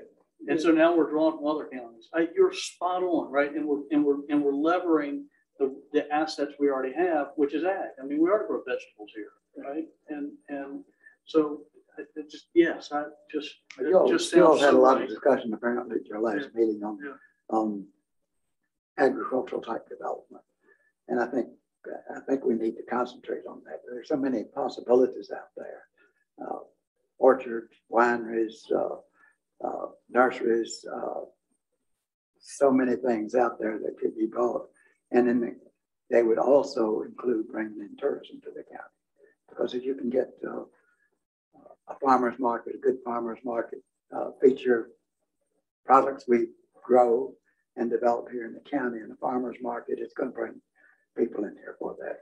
I'd like to see the economic impact of those types of things because I don't know, isn't there a lot of tax breaks for people that, that do the, the You do. You do get a lot of tax breaks, but, Um, but it, but the, the thing is, it brings people brings to the people in. county. So and helps tourism. in other ways as well, but.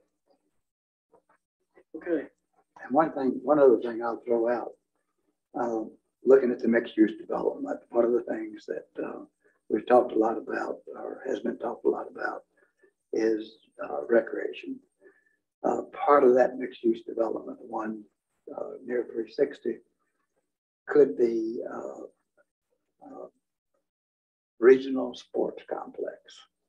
And as a part of the larger development, the developer could uh, encourage or bring in a regional sports complex, which would uh, increase the number of uh, restaurant trips, uh, overnight stays, things like that, and bring in a lot of people from, from the Northern Neck, uh, um, Northern Neck and uh, our, our district, uh, Middlesex Mathews, all those counties could bring those into, to a regional sports park. So I think that's one thing that okay. we might want to keep in mind. All right, um, thank you. Um, all right, so we've got Chris Couch is, is up and, and Chris, Chris, uh, Kyle said that he, he, um, uh, recognized that Chris's, uh, presentation goes, goes a little bit deeper. Chris is pretty thorough, uh, in his analysis and, uh, Chris, uh, maybe you can teach us something about, I don't know. Um, I think that, I think the biggest difference, um, there was a lot of overlap. Probably the biggest difference is minus three, like thousand. But, uh, I think you go into a little more detail. um, I, I can, I think I can project. Let's put, put that there. Oh, all right. So um, we're pulling the presentation up here, and man, this this this thing has been around for a little bit. Uh, if we go ahead and get to the first slide. Really, it's just some background. Some of you, I apologize, Mr. Greenwood. I know you've heard this one before, but uh, uh, I think there was one slide before that, just to kind of talk about how we got here. Chris, Um, you want to tell us about you? well, that was going to be the second part. Okay. Um, we go back the other way. I guess not. Anyway, um, how, how we got here, first of all. A couple years ago, earlier last year, when we were doing the zoning ordinance updates, there's a lot of talk about the five to 10 acre um, uh, change in, in agricultural districts and, and a lot of residential development there. And that led to uh, me and Mr. Marin asked a number of the other consultants that were around here, hey, can we model this out? What is the impact of, of new houses on our county? And um, didn't really get any bites on that. And I kind of reached out to Ed and said, hey, let's let's knock some ideas around. And, and I've done a lot of modeling in my previous career. Um, and so that's how we got to this point.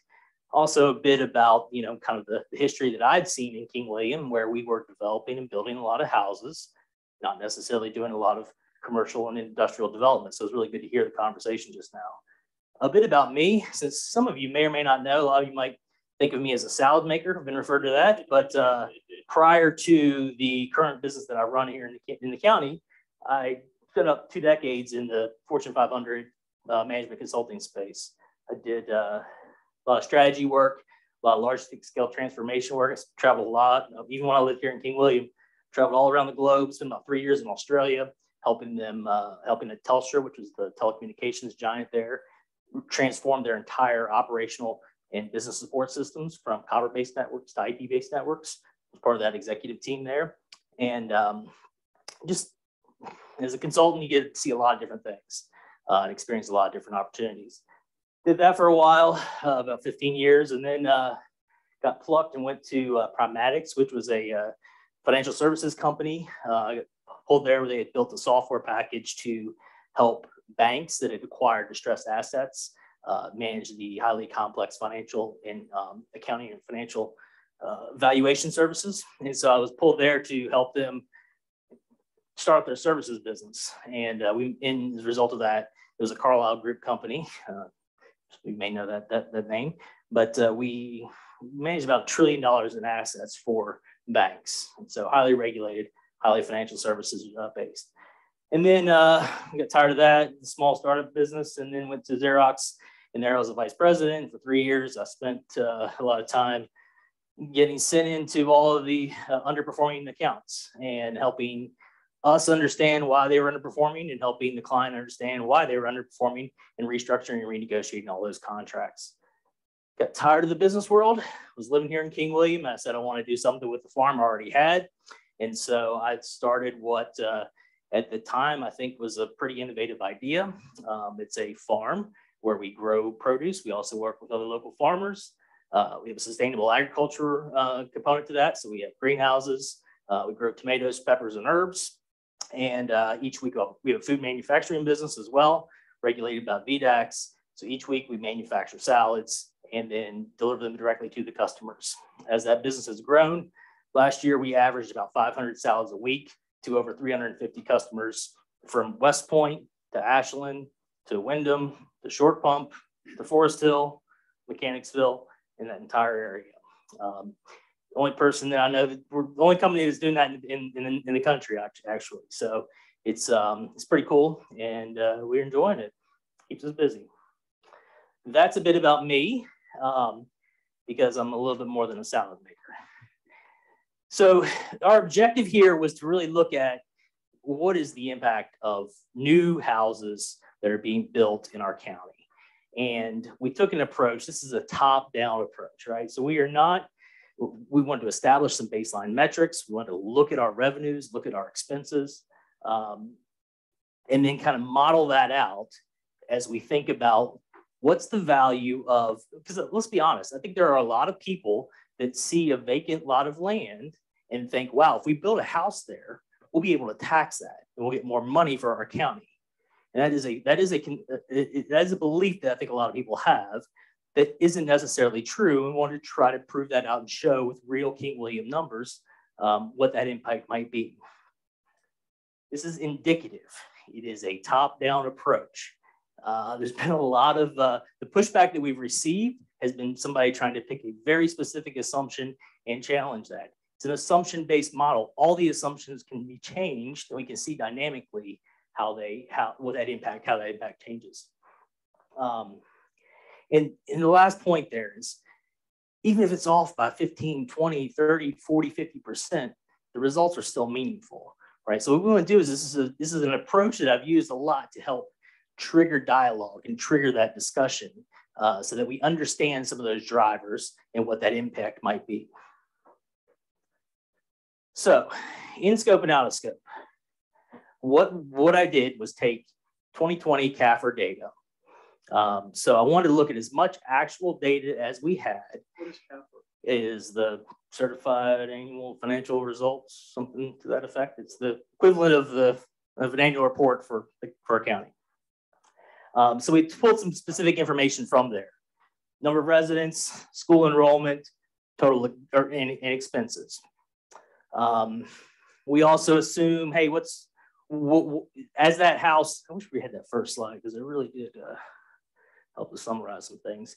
Um, when that new house is built on a vacant lot of land, we're going to be incurring expenses, but we're also going to be generating revenue. And so we're going to model that out. And then there's a lot of where, where we get some pushback is on some of these assumptions that we had down at the bottom around children per house, which is and, and around vehicles per vehicles per house. And both of those are national data statistics that I pulled.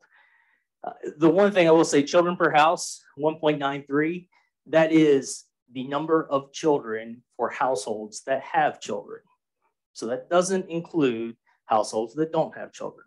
And so that, that's one difference you heard between Kyle's numbers and my numbers. I think they both foot to about the same um, end result if, if, we, if we equalize those two assumptions there. Um, what is not included? Infrastructure, right? So some of these improvements that would need to be made to support um, growth being residential growth, industrial growth, commercial growth, um, were none of that's included, right? So we're just baselining that and we're assuming that away. Um, additional education funding from the state. So you'll see in the education expenses, we're just assuming the portion that King William contributes to, to the budget. Um, very relevant to this discussion, offsetting impact of business and industrial growth. A big part of one of my objectives in this was to show that where we are growing residentially, we need to offset that impact with the business and the industry uh, growth. Cost of living, inflation, that's not included. Demographics of the, of the residents are not included as well. So again, we try to keep it as simple. We try to assume away everything else, keep it pretty straightforward and, uh, and go from there. Sure. One question on Mhm. the previous slide. You stated that children per household, one point nine three, that only accounts for the houses that have children. Correct. Okay, so what is the split between houses that have children and houses that do not? Because that becomes a. Correct. factor that needs to be- The, the what, the difference between Kyle's presentation, I think he was at 0.7 something. So, and again, these are national statistics. We don't have King William statistics. And we also don't have a view of, you know, we, we have 6,000 parcel or households in this county and there's 2,000 students that go to the school, the school now. Um, you can't take the parcels that have been built from the beginning of time and compare it to a point in time, which some people have tried to do, right? Um, so I think to answer your question though, the 1.93 is for children. Average number of children for households that have children. The number of households that actually have children, I believe, is about uh, 40%. So that's where you get to the 0.7 um, if you're looking at all houses. Of those, how many of those, well, what percentage of those uh, children are school age?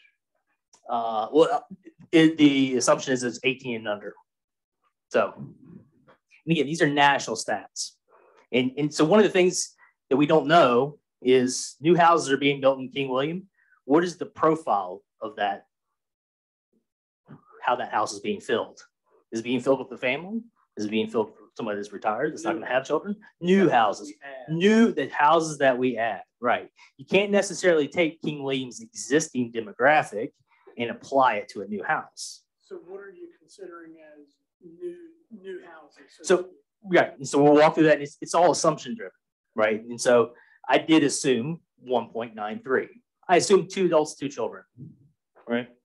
And, and we'll see what that impact is.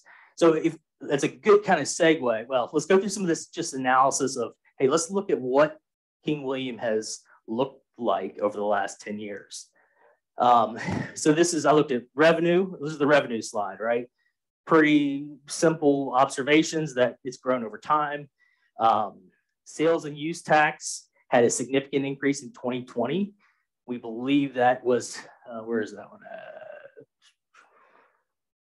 Uh, sales. and use- Oh, there we go. Yeah. So you see that big, huge, that big spike between 19 and 20. We believe that's related to two different things. Pandemic, more people were spending locally. The second thing is online sales started to be taxed. Um, and we, we got some pull through on that.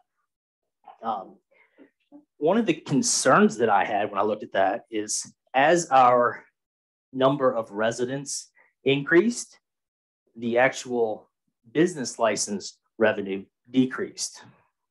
Right, so this is, um, oh, it's over here. Business license. So, so a lot of what I was looking at was boiling everything down to a per resident metric, right? So this is this is taking the total number of the total business license revenue and the number of residents and looking at it year over year. And you can see how it's gone up and actually the last couple of years has gone down.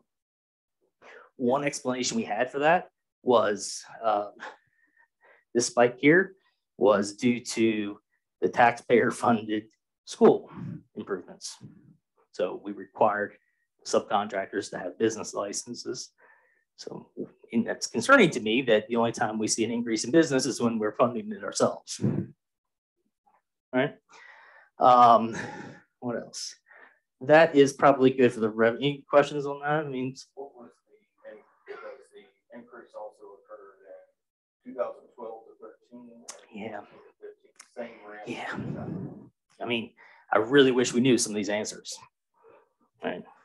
All I'm doing is presenting. This was kind of how that, but the data told us. We don't know why. And that's a concern for some of us here. Was, so the expenses, this is where it gets really interesting, especially when you look at the expense category per resident. So again, as our number of residents has increased, one of the things as a business owner myself, I expect that as I scale up, that my unit cost goes down. So I can, you know, the, the point I think Kyle made was you can add more businesses. You don't need any more county uh, um, administrators. Well, we're not seeing that in any of these numbers, right? So we're seeing that general government administration per resident, again, is going up over in the last few years. Same thing on public safety.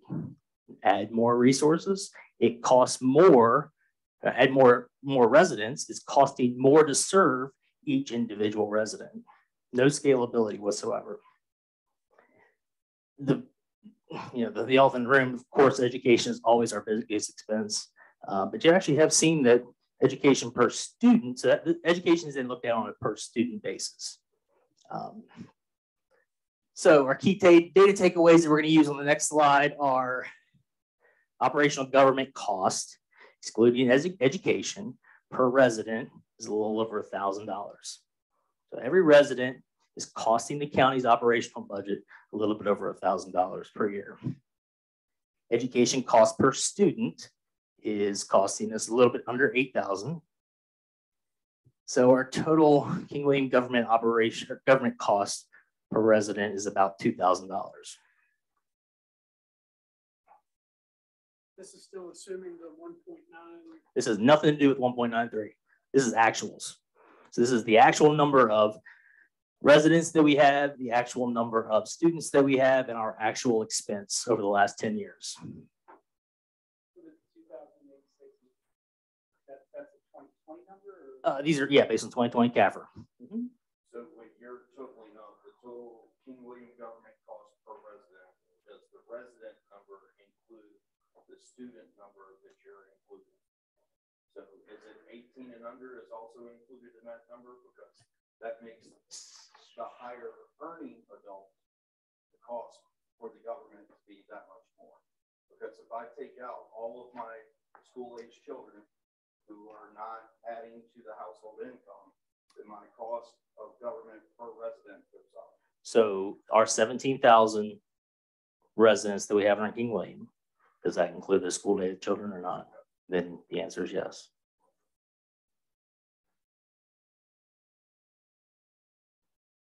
Does that, Because I'd like to see a more complete, with this, a more complete assessment of what the actual cost is Mm, yeah, right, for the actual adults who are paying those costs. Because Mhm. for, I don't have five-year-olds paying nine hundred and seventy-three dollars. That's a good point. Themselves. Yeah. School. Yeah, so, So that would drive the, the cost. The per- cost up. Cost up. adult. Yes, yes. correct, it would. So would, this is, this is. this It would is make- conservative by- it would make this even more conservative. There's a lot of cons- conservation built into this model. That's why whenever I'm questioning some of these assumptions, I kind of laugh because I can get you on. Uh, I know there's other ways that, that, that it comes back to you.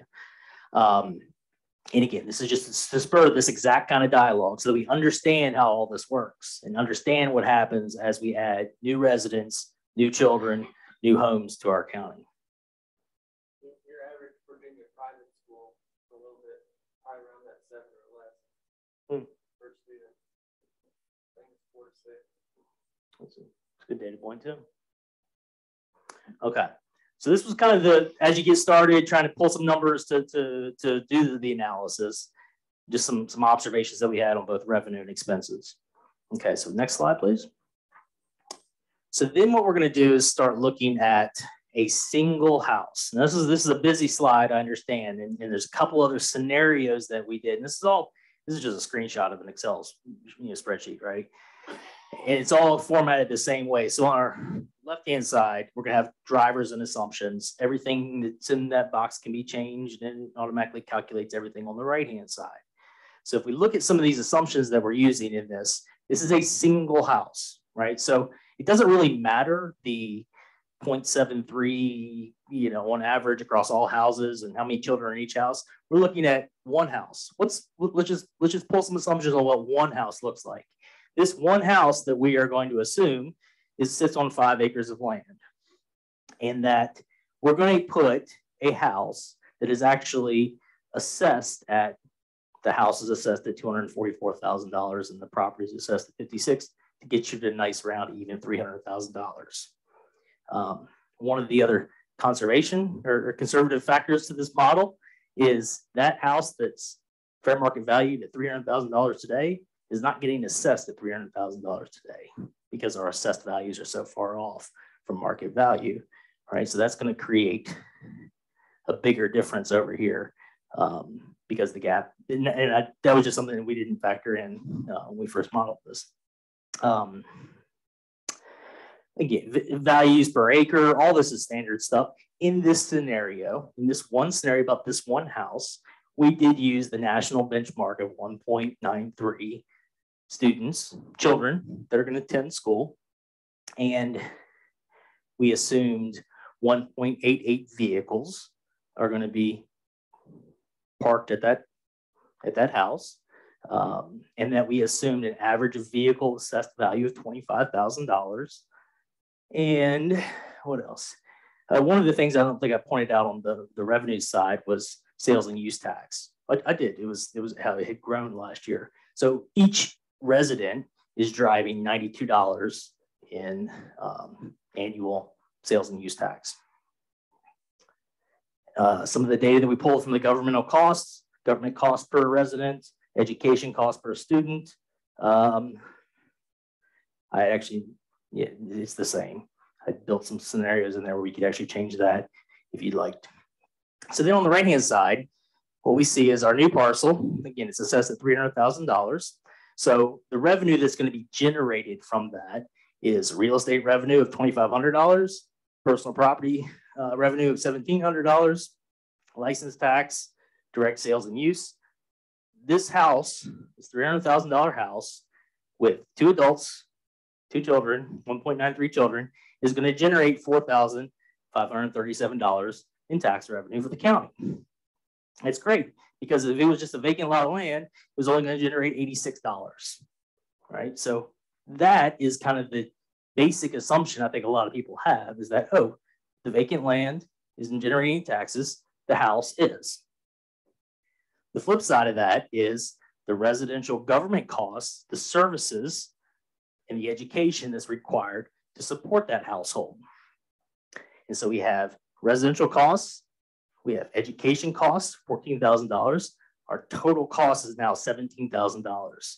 So we've added that house. That house is generating $4,500 in revenue, but it's costing the county an incremental $17,000 to support that household. Well, okay, so your education cost is not taken into account any federal subsidies that come in, nor any state subsidies that are coming in. So, but our CAFR doesn't either. well, but here's the thing though, when I'm looking at total cost of what an education costs per student, I must take that into account because the, the county is not on tap to pay that seventy-six ninety that may be your average going across the board. They may be on tap to pay forty-six hundred out of that because the state and the federal government also have a certain percentage that they must apply to that um, calculus also. So when you're looking at this, you need to keep that in mind also. That this is because all of this money doesn't Right. just come from the county. Agree. That's why on the assumptions of our scope was the state funding for education. We looked at, we're going to assume that, and we're also going to assume that the school budget is going to remain the same as it was last year on a per student basis. Right, and I get that, you're counting that out, but we can't say that the education cost is that. I would be more apt to agree the new residential government cost is accurate, but the education cost is the one that I have an issue with, simply because we have outsourced those other things and not accounted for that funding. Well- So let's go back if you can to the um, expense slide, Chris, which is back in going this way, perfect. So in 2020, we, and I don't know the numbers behind this, But this was the King William County operational budget contribution to education divided by the number of students in the system. Right, so King William taxpayers contributed seven thousand nine hundred and six hundred and ninety dollars per student. Right, and so all we're doing here is we're assuming, let's add two more students. And let's assume that that number stays the same. I- still think that one point nine three. Don't- Said earlier that the one point nine three is any child eighteen and younger. Mhm. Well, they don't. Okay, let's assume, let's assume this scenario, again, like, you cannot get hung up on a very specific assumption. That's an important input What- number that you're, you're, you're multiplying the number by two to get the total education cost. About one point nine three. Yeah, Yeah. so if Right. that number in reality is closer to one, It's, then now, now you've almost reduced that by half on education. but is it positive or negative still? Yes, the premise I agree with. That's the premise that we're trying to prove. That, that, that is the premise, right? And again, you're right, we can argue, is it one point nine three, is it 0.77, is it 0.4, 0.3? It, it's got to be a very, very low number next to zero in order for this scenario for a residential house to pay for itself. I don't, I don't think you have to prove that to anybody. Uh, Simply because when you bring in a house, yeah, we all. We, thank you, Brian. In September of last year, that wasn't a true statement. One thing that, are you double counting the education cost per student because you have total cumulative government cost? per- No, it's minus education. But when you flip back over the other side, you're assessing the two thousand eighty-six Uh, No, I think uh, we could go to that next slide. It should just be the two thousand eighty-six. um, So we're, so two thousand eighty-six is the wrong number. It's the one thousand one hundred and twelve, which is government expense minus education um, divided by total population. So, so it's, it's this number times two. It's the one thousand one hundred ninety-two times two. Uh, I'm the one causing that problem. Two thousand two hundred twenty-five. Correct, yep. And the one point nine three, again, just an assumption, uh, times the education cost goes to your fourteen. Mm. And so again, this is a single house, single scenario, um, to kind of to view. Now, a couple of, again, a couple of things that have come up since this was originally created and presented for free, by the way. Can I just say this back so that, so when, when you Mhm. say the education cost is fourteen thousand eight hundred forty-three dollars, you're not saying that's the total cost of education, you're saying that's what King William contributes, Correct. just so we're clear. Based on the assumption of cost per student, if that holds the same, Is not. correct. Okay. So straight out of King William's uh, operating budget. Okay. So a couple of things that are, that, that, that have caused some, or, or had, had had some discussion on since this was originally created. You know, again, first of all, three hundred thousand dollars, we're building a house, fair market value maybe three hundred. We're actually, based on the situation that we're in now, only going to assess that at about hundred and sixty, something like that, right? Because of how far off our assessed values are from fair market values. Uh, so that's going to drive the tax revenue down, making this more conservative. The other observation again is 1.93. Is that the right assumption to be making? Again, this is a single house. So we've assumed a national average. We've assumed it's a family that's moving into this house, and that family is going to bring the national average of 1.9, 1.93 students. Or fifty-five and over, community built. They think kind of both. Yes. And it's just a Yeah. Total positive, and if it's one of these garden communities like in Henrico or Chesterfield, that you have these five hundred thousand dollar houses and they winter in Florida. Mhm. Yeah. it's Really good. Like It- well- What is it break, what is our break even number? Yeah. Because even if it's Good point. five and over community, my house value still has to be enough because that education cost is shared throughout the entire community. So while you may not be adding to it, if I'm already in a deficit, just because I add a fifty-five and over community does not mean that I'm making bankroll. there. Right. Because I'm making up the deficit that is already there. But like every budget, you have to have those people to pay for the other people. Well, sure, oh, but that's with any aging community. So any aging community, as this county grows older, the kids get older, they move out, they're no longer part of the school. So you have that same thing occur without having a fifty-five and older community. Naturally. Yeah, yeah, it As long naturally. as they don't downsize. In the fifty-five dollar community may actually drive a, a, a higher services cost.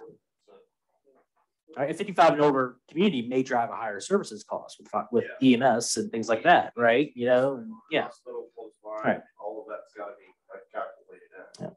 So this is for one home, what, what, what are- Right. Great segue. So if you would go to the next slide, please. Uh, it's been a while. So then we started to say different scenarios. And so what you see here is the exact same layout. Um, and again, this was a lot of this was some legacy stuff around the, the agricultural um, subdivisions and stuff like that. Uh, but I, what I did is you, the main thing that changes as you go through from scenario one to two to three to four is the value, is the, the number of acres, which is kind of irrelevant here, honestly, and the uh, improvement value. And I've also assumed as that house improvement value goes up, so does the vehicle assessed value. So you're driving a, you're living in a bigger house, you're driving a better car. And scenario four is where's our break even point? And again, all of these scenarios are based on that same 1.93. Again, so we can change all that and it does change the numbers, but it's always going to be negative. It- it- I think I think the break even based on all these assumptions on the on the students was 0.15 um, students students per house. So anything above zero. Students per house of people that have children. Yeah, just so so yeah, these are all just one house, just one house. All right. So so what is one house with this demographic with, with this this makeup? Uh, what does it look like? So the, the this first house is a two hundred twenty five thousand dollar assessed house with one point nine three students in it. Scenario two is a three hundred twenty five thousand dollar house with one point nine three students in it. Scenario three is a three hundred seventy five thousand dollar house with one point nine three students in it. And scenario four is a $1.6 million house with 1.93 students. And there's where you get to your break even. So, all right. To bring this back to um, reality, in King William, what's the average house cost in King I- William? Right now, at I- assessed I- value. yeah. hundred and seventy-five Yeah. thousand? Yeah, it's good. Safe. Somewhere around there. Is there any house that is currently assessed in King William at one point six million dollars? I'm sure there are. Yeah. sure There are. It's not that nice. Yeah. Yeah. I've got the forty thousand dollar truck, that's all I've got. yeah, right. So, yeah. Well, because I'm Right. asking, because they, so you've got up here twenty-five acres for the new parcel, right? So if I've got twenty-five acres, because your parcel is going, Yeah. up, so, and here's where I'm asking, what's the average land parcel that we have in King William, along with the average value of the home? Because that brings it back to what the truth is for us. The truth mm. data, this is all great as far as yes. scenarios, but I would if we've got a 1.6 million dollar house in in King William, outstanding. But I would doubt that they're few and far between. Mm-hmm. But I think I, from, a, from a planning perspective, it's instructive to know that if we're going to convert land from an agricultural use to a residential, we need to plan for the assessed value of those homes, 1.6 Sure. In order for us to break. If they're going to have 1.3 students at, and they're going to drive this dollar value car, there's a lot of other students. Correct. Right. Thank you. Yeah. Based on these assumptions. Yeah.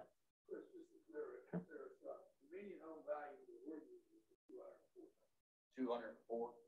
Okay. Right. So it's lower than anything I have on here. What have you, have you taken out all of the, the children aspect and, and seen what that number is with removing that? Yeah. Um, positive at that point, uh, when you remove take the children out. if you take the children out, it So will become I guess possible. From a planning perspective, then, if you do this whole report and, and were to, you know, take the, the ratio of people without kids in school versus people that did have kids in school, I'd like to see how far in the red we are once you overlay the two uh, together. The- And then, yeah. and then we, what we can do is, uh, you know, if we're looking at, say, a a fifty-five and older com- community, can we use that to help offset the, Mm. any new residential, especially the, the more dense residential that we have already planned? The hardest part for all for, for me and all this, and the most frustrating part is we really, I don't think we know what the profile is of these new homes that are being built. You know, I, I mean, in my salad maker hat, I, I go to a lot of them and I deliver salads to them and I see a lot of kids. I see a lot of toys out. Right now, does that mean that they're homeschooling or they're just not of, of, of, school age yet? I don't know. Um, Well, and you're also probably not validating whether or not that individual is renting right. and is a, has more children and they're not the one paying the. And, and I've also seen a lot of turnover in some of these newer homes too. You know, two years go by and a new person moves in with the child.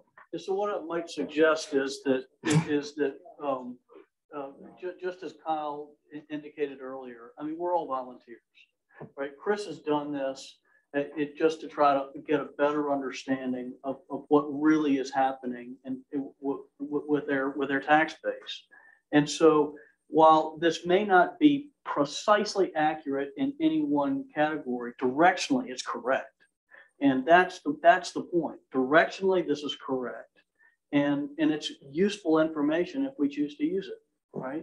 I'm not saying it's not useful, but the argument here is to, is to focus on the light industrial instead of going. Absolutely. towards Right. Well, But here's the thing, here's the thing, so economic development, how long have we heard now, Jay? We want a pharmacy. Yeah. So in order to bring in a pharmacy, we need rooftops. In order to have rooftops, I need residential.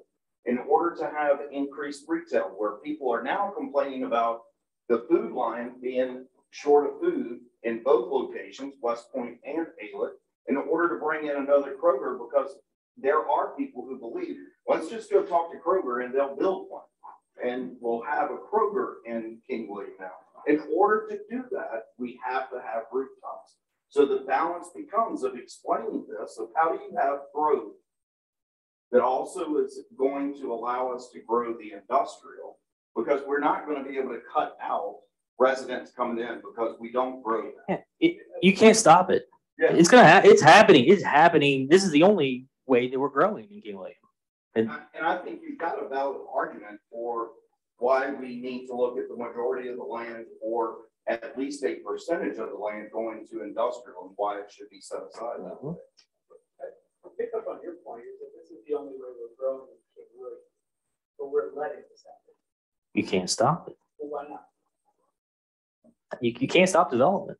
Why not? You can't, I mean, there's, you- the planning commission can tell us better, right? I mean, you can slow it down. You can suggest having a minimum, minimum lot size, 10 acres in the agricultural area. There are choices that we're making about when we can, I mean, back to the previous slide. I mean, I think that this is nice from a macro analysis, but on an individual lot standpoint, the conversion of that mm -hmm. parcel, that five, five acres, acres, from an ag use to a residential use costs us $12,000, $13,000.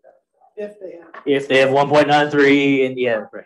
Right, so. well, how many people are moving in that don't have kids? That's- Right. That's, the- that's the delta between two and Right. one point nine three.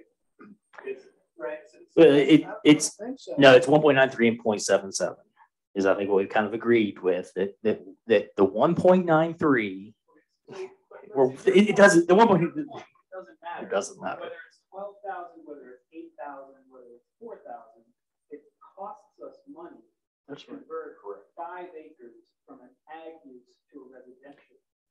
And as a, I mean, understanding that, that governments don't run like businesses for good reason. Any business owner will tell you that's a crazy thing to continue. do. Mhm.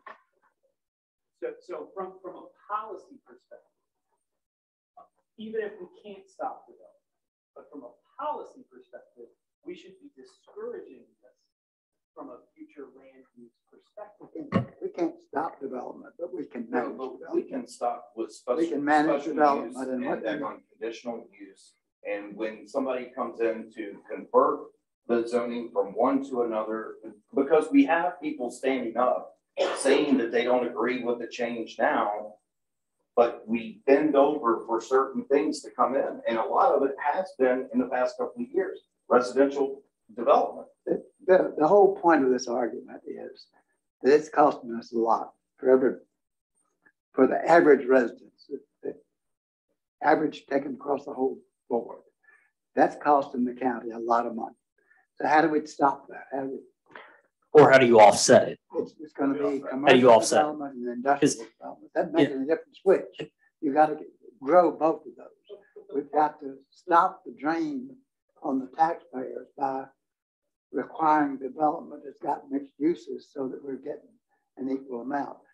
The industrial development, I, I totally agree. If we can get industrial development in there, that's gonna help. But that's also not the only tool, and and I know this is not necessarily germane to this conversation, but this is also, I mean, you did this for the land. use. Kind of, this what started it. But, but it, I then became the conclusion that it doesn't matter how many acres it is, five, ten, twenty, it's, it's a house. A house with two children, one point nine three children, that's what costs us. Any- Anyone that, uh, uh, you're still what, some, two thousand some dollars in a home to start with, without. the Yeah. Yeah, I mean, we'd have to, um, yeah, I could easily come up with that number. I mean, it's point eight six and, um, but you're still in a hole you didn't have here. especially at the 200,000, 204 or two oh five, yeah, you're in hole. At our current tax rate. And the other thing is, is if we talk about the tax rates going down, that creates the problem, it makes the problem even worse. So, so one, in this, in the next step, is that last bullet on Kyle's slide down at the bottom where, where he said, you look, he, he was gonna look at the build out.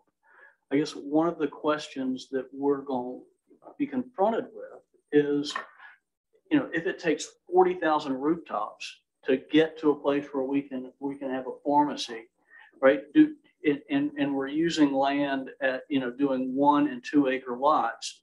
I mean, how, how much of the county are we gonna eat up? And another approach might be to create denser, really, really pack the, pack the density in so that if we need forty thousand people, we're not eating up two thirds of the county.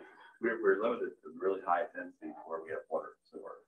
Well, so then that would be, that would be a limit, a, a limiter, right? And that, that, that, in- that in of itself would, would, would, would Even limit. in the develop- central development. garage, Haywood area, you're almost at your max capacity. So even in our areas that we have King William version of high density, we're at our limits on what we're able to actually have for water and sewer that's coming out of there. And we don't own the water treatment plant anymore. That's HRSD. And if HRSD doesn't want to hook up somebody because it's three miles down the road, they don't have to hook them up. That, that, that would, that would, thro- that would absolutely throttle development. It- And, and I don't know that we want to shut it off. If we have high enough, but if we have high enough density, it's worth HRSD. Absolutely, Yeah. if you force everybody to do it. But you don't want to force the, um, the high density out to where they've got to do water. I mean, no, That- that- septic. That, that argues keeping it tight, right? And, and so, so I, I. I- Well, you can't do water and septic, but you can't do well and septic on a small parcel of land. either. Correct. Right now, you've got to have larger parcels in order to do that. And So, so I guess the, the, and, and we'll learn this answer, right, when, when Kyle comes back with the build out study, you know, how many, what does it look like? How mu, how much land are we actually gonna eat up? I- You know, I mean, it's, Well, right now, right now, the commercial, the, the development along the sixty corridor is a very small percentage of the whole county. We've got a lot of room to grow, but we're trying to preserve that rural landscape as much as we can. And we can do that by developing this, the sixty corridor area. Uh, no, we don't have water and sewer now to serve that, but we will. We're, I mean, the plans. Our, our water right now is based off of the aquifers that we have established. Those aquifers have a limit to what, how many people you can put on them. Well, I mean, that's, that's the question we'll have to ask. uh, So then you, so then you get into you know, reservoirs and uh, it, it takes us to all We already sorts of tried places, that. but I- I'm just, just, I, I'm just saying that, that I, I get, right, well, we gotta purchase all that land. to install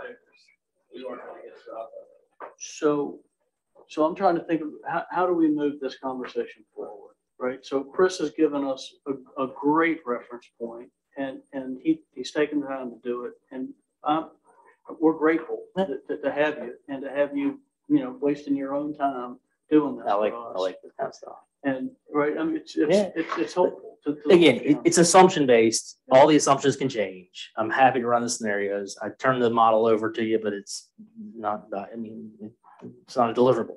It's, it's ugly. And, and you can't just change one number without knowing kind of what the impacts are. And that's, that's my biggest fear with releasing it is, you know, you can get the numbers to say whatever you want them to, but um, you kind of have to know how they, how they work together.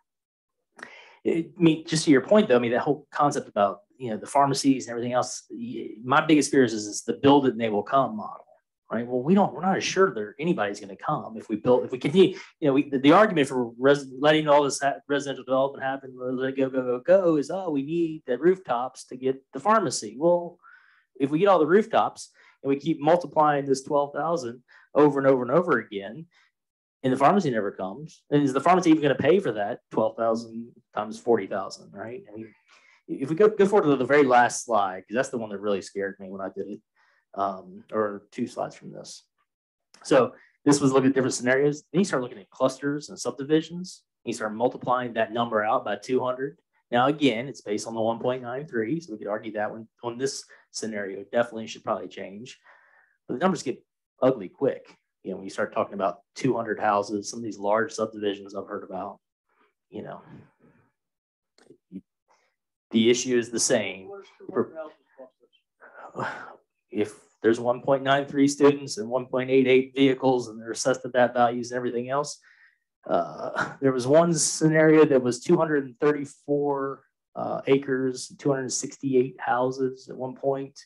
That was going to cost you 3.3 million a year. Um, another scenario of 100 acres with 80 houses, cost you a million. Um, you know, you really only start to look somewhat positive when you get to 200 acres and only having eight parcels on it. All right. Yeah, that's a large. Mr. Greenwood, you've got your work cut out for you. Point about moving the conversation forward, and I, and I think that the land use conversation is one, and I think that from EA's perspective, we're trying to identify, going back to Kyle's point about how do we identify real strategies to promote businesses that will move needle, um, coming to or expanding to their town. So I think that I picked up on, um, what Kyle was saying, that what we need is to identify sites, we need as much information about those sites as possible, and we need to look at being what, be willing for identifying resources so that we can prepare those sites. Yeah. You're right, so we need to show, we need to pad ready, we need, we need to make those kinds of investments strategically so that we can be more competitive than the entire corridor between ninety-five and the, and the border. Right. That's a very, that's very well said. I'd say you also need a team that can attract that business and close that deal. That was very well said. The other side of that, which is finding a ruling plan. Well, Well, not even that, because we're making improvements to, to bring, to entice somebody in, but the, you know, there's always the chance that we make the improvement, and then the individual says, you know what? My land value used to be fifty thousand an acre, now it's a hundred thousand an acre.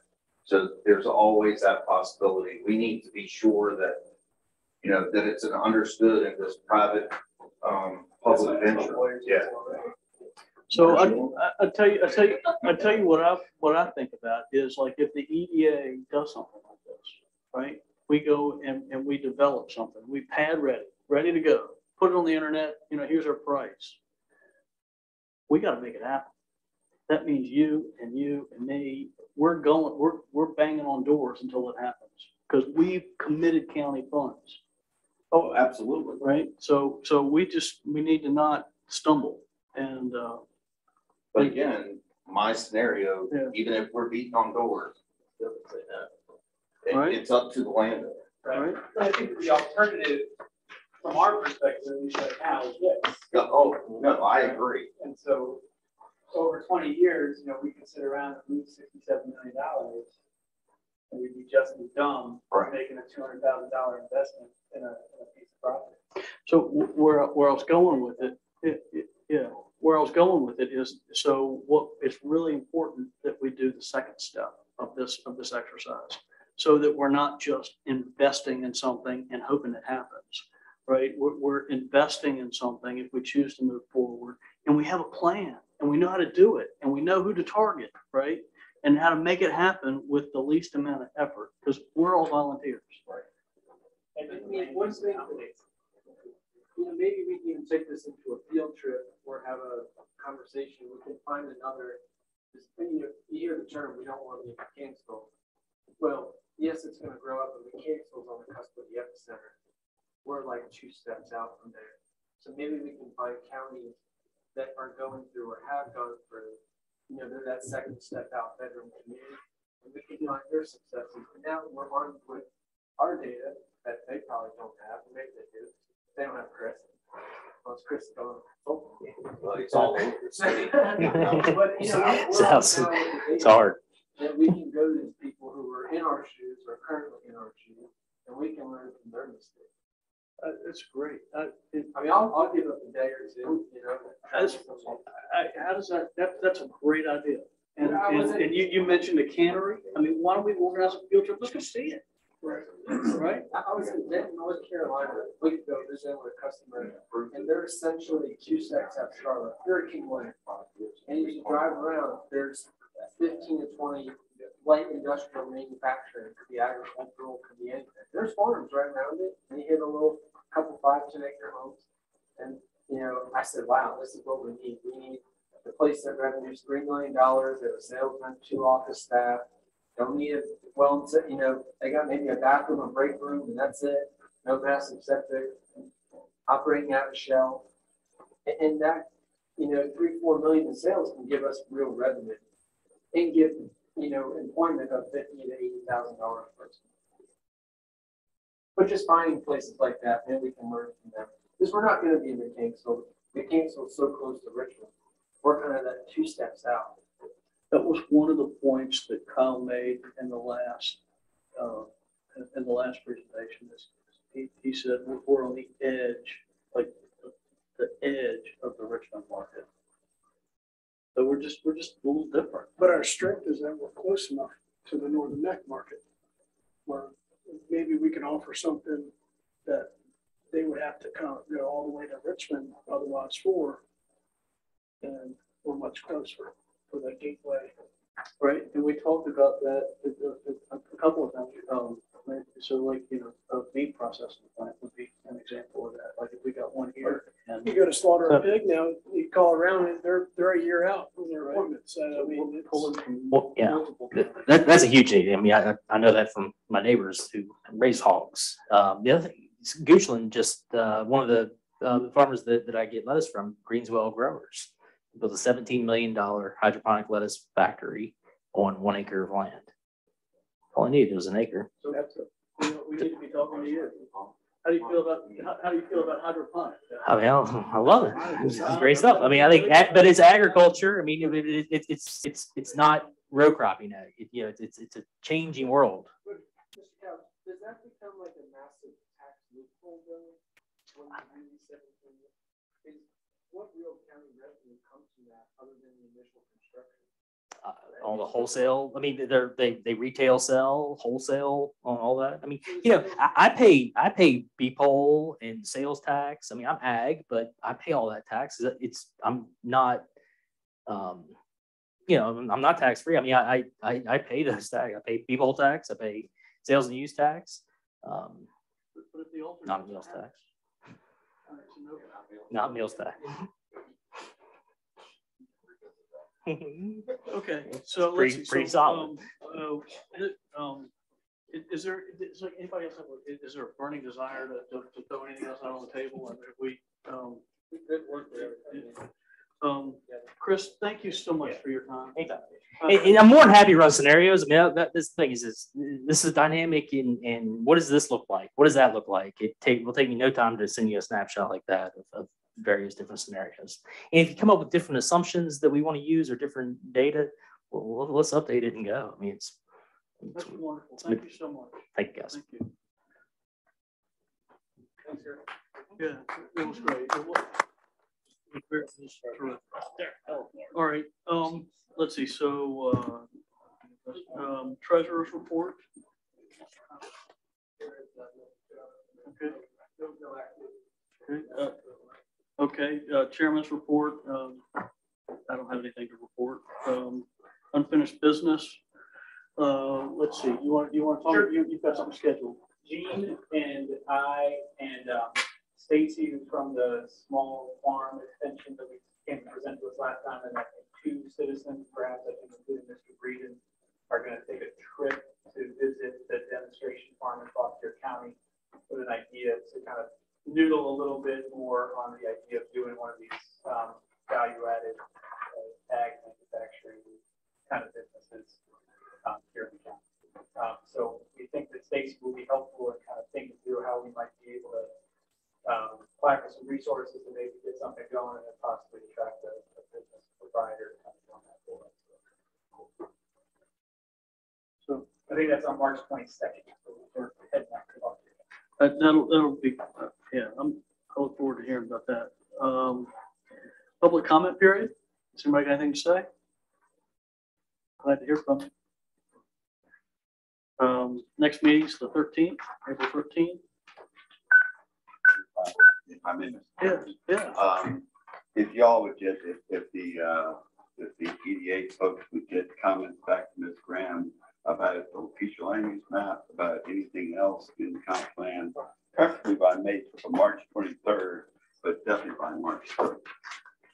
And Ms. Graham, can you say a little bit about tomorrow night, how that's gonna work? We're gonna have a, uh, public meeting tomorrow.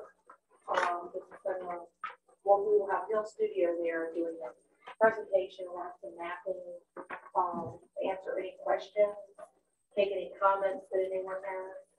And then we'll, re- and we'll incorporate them, um, in our draft that we're working on.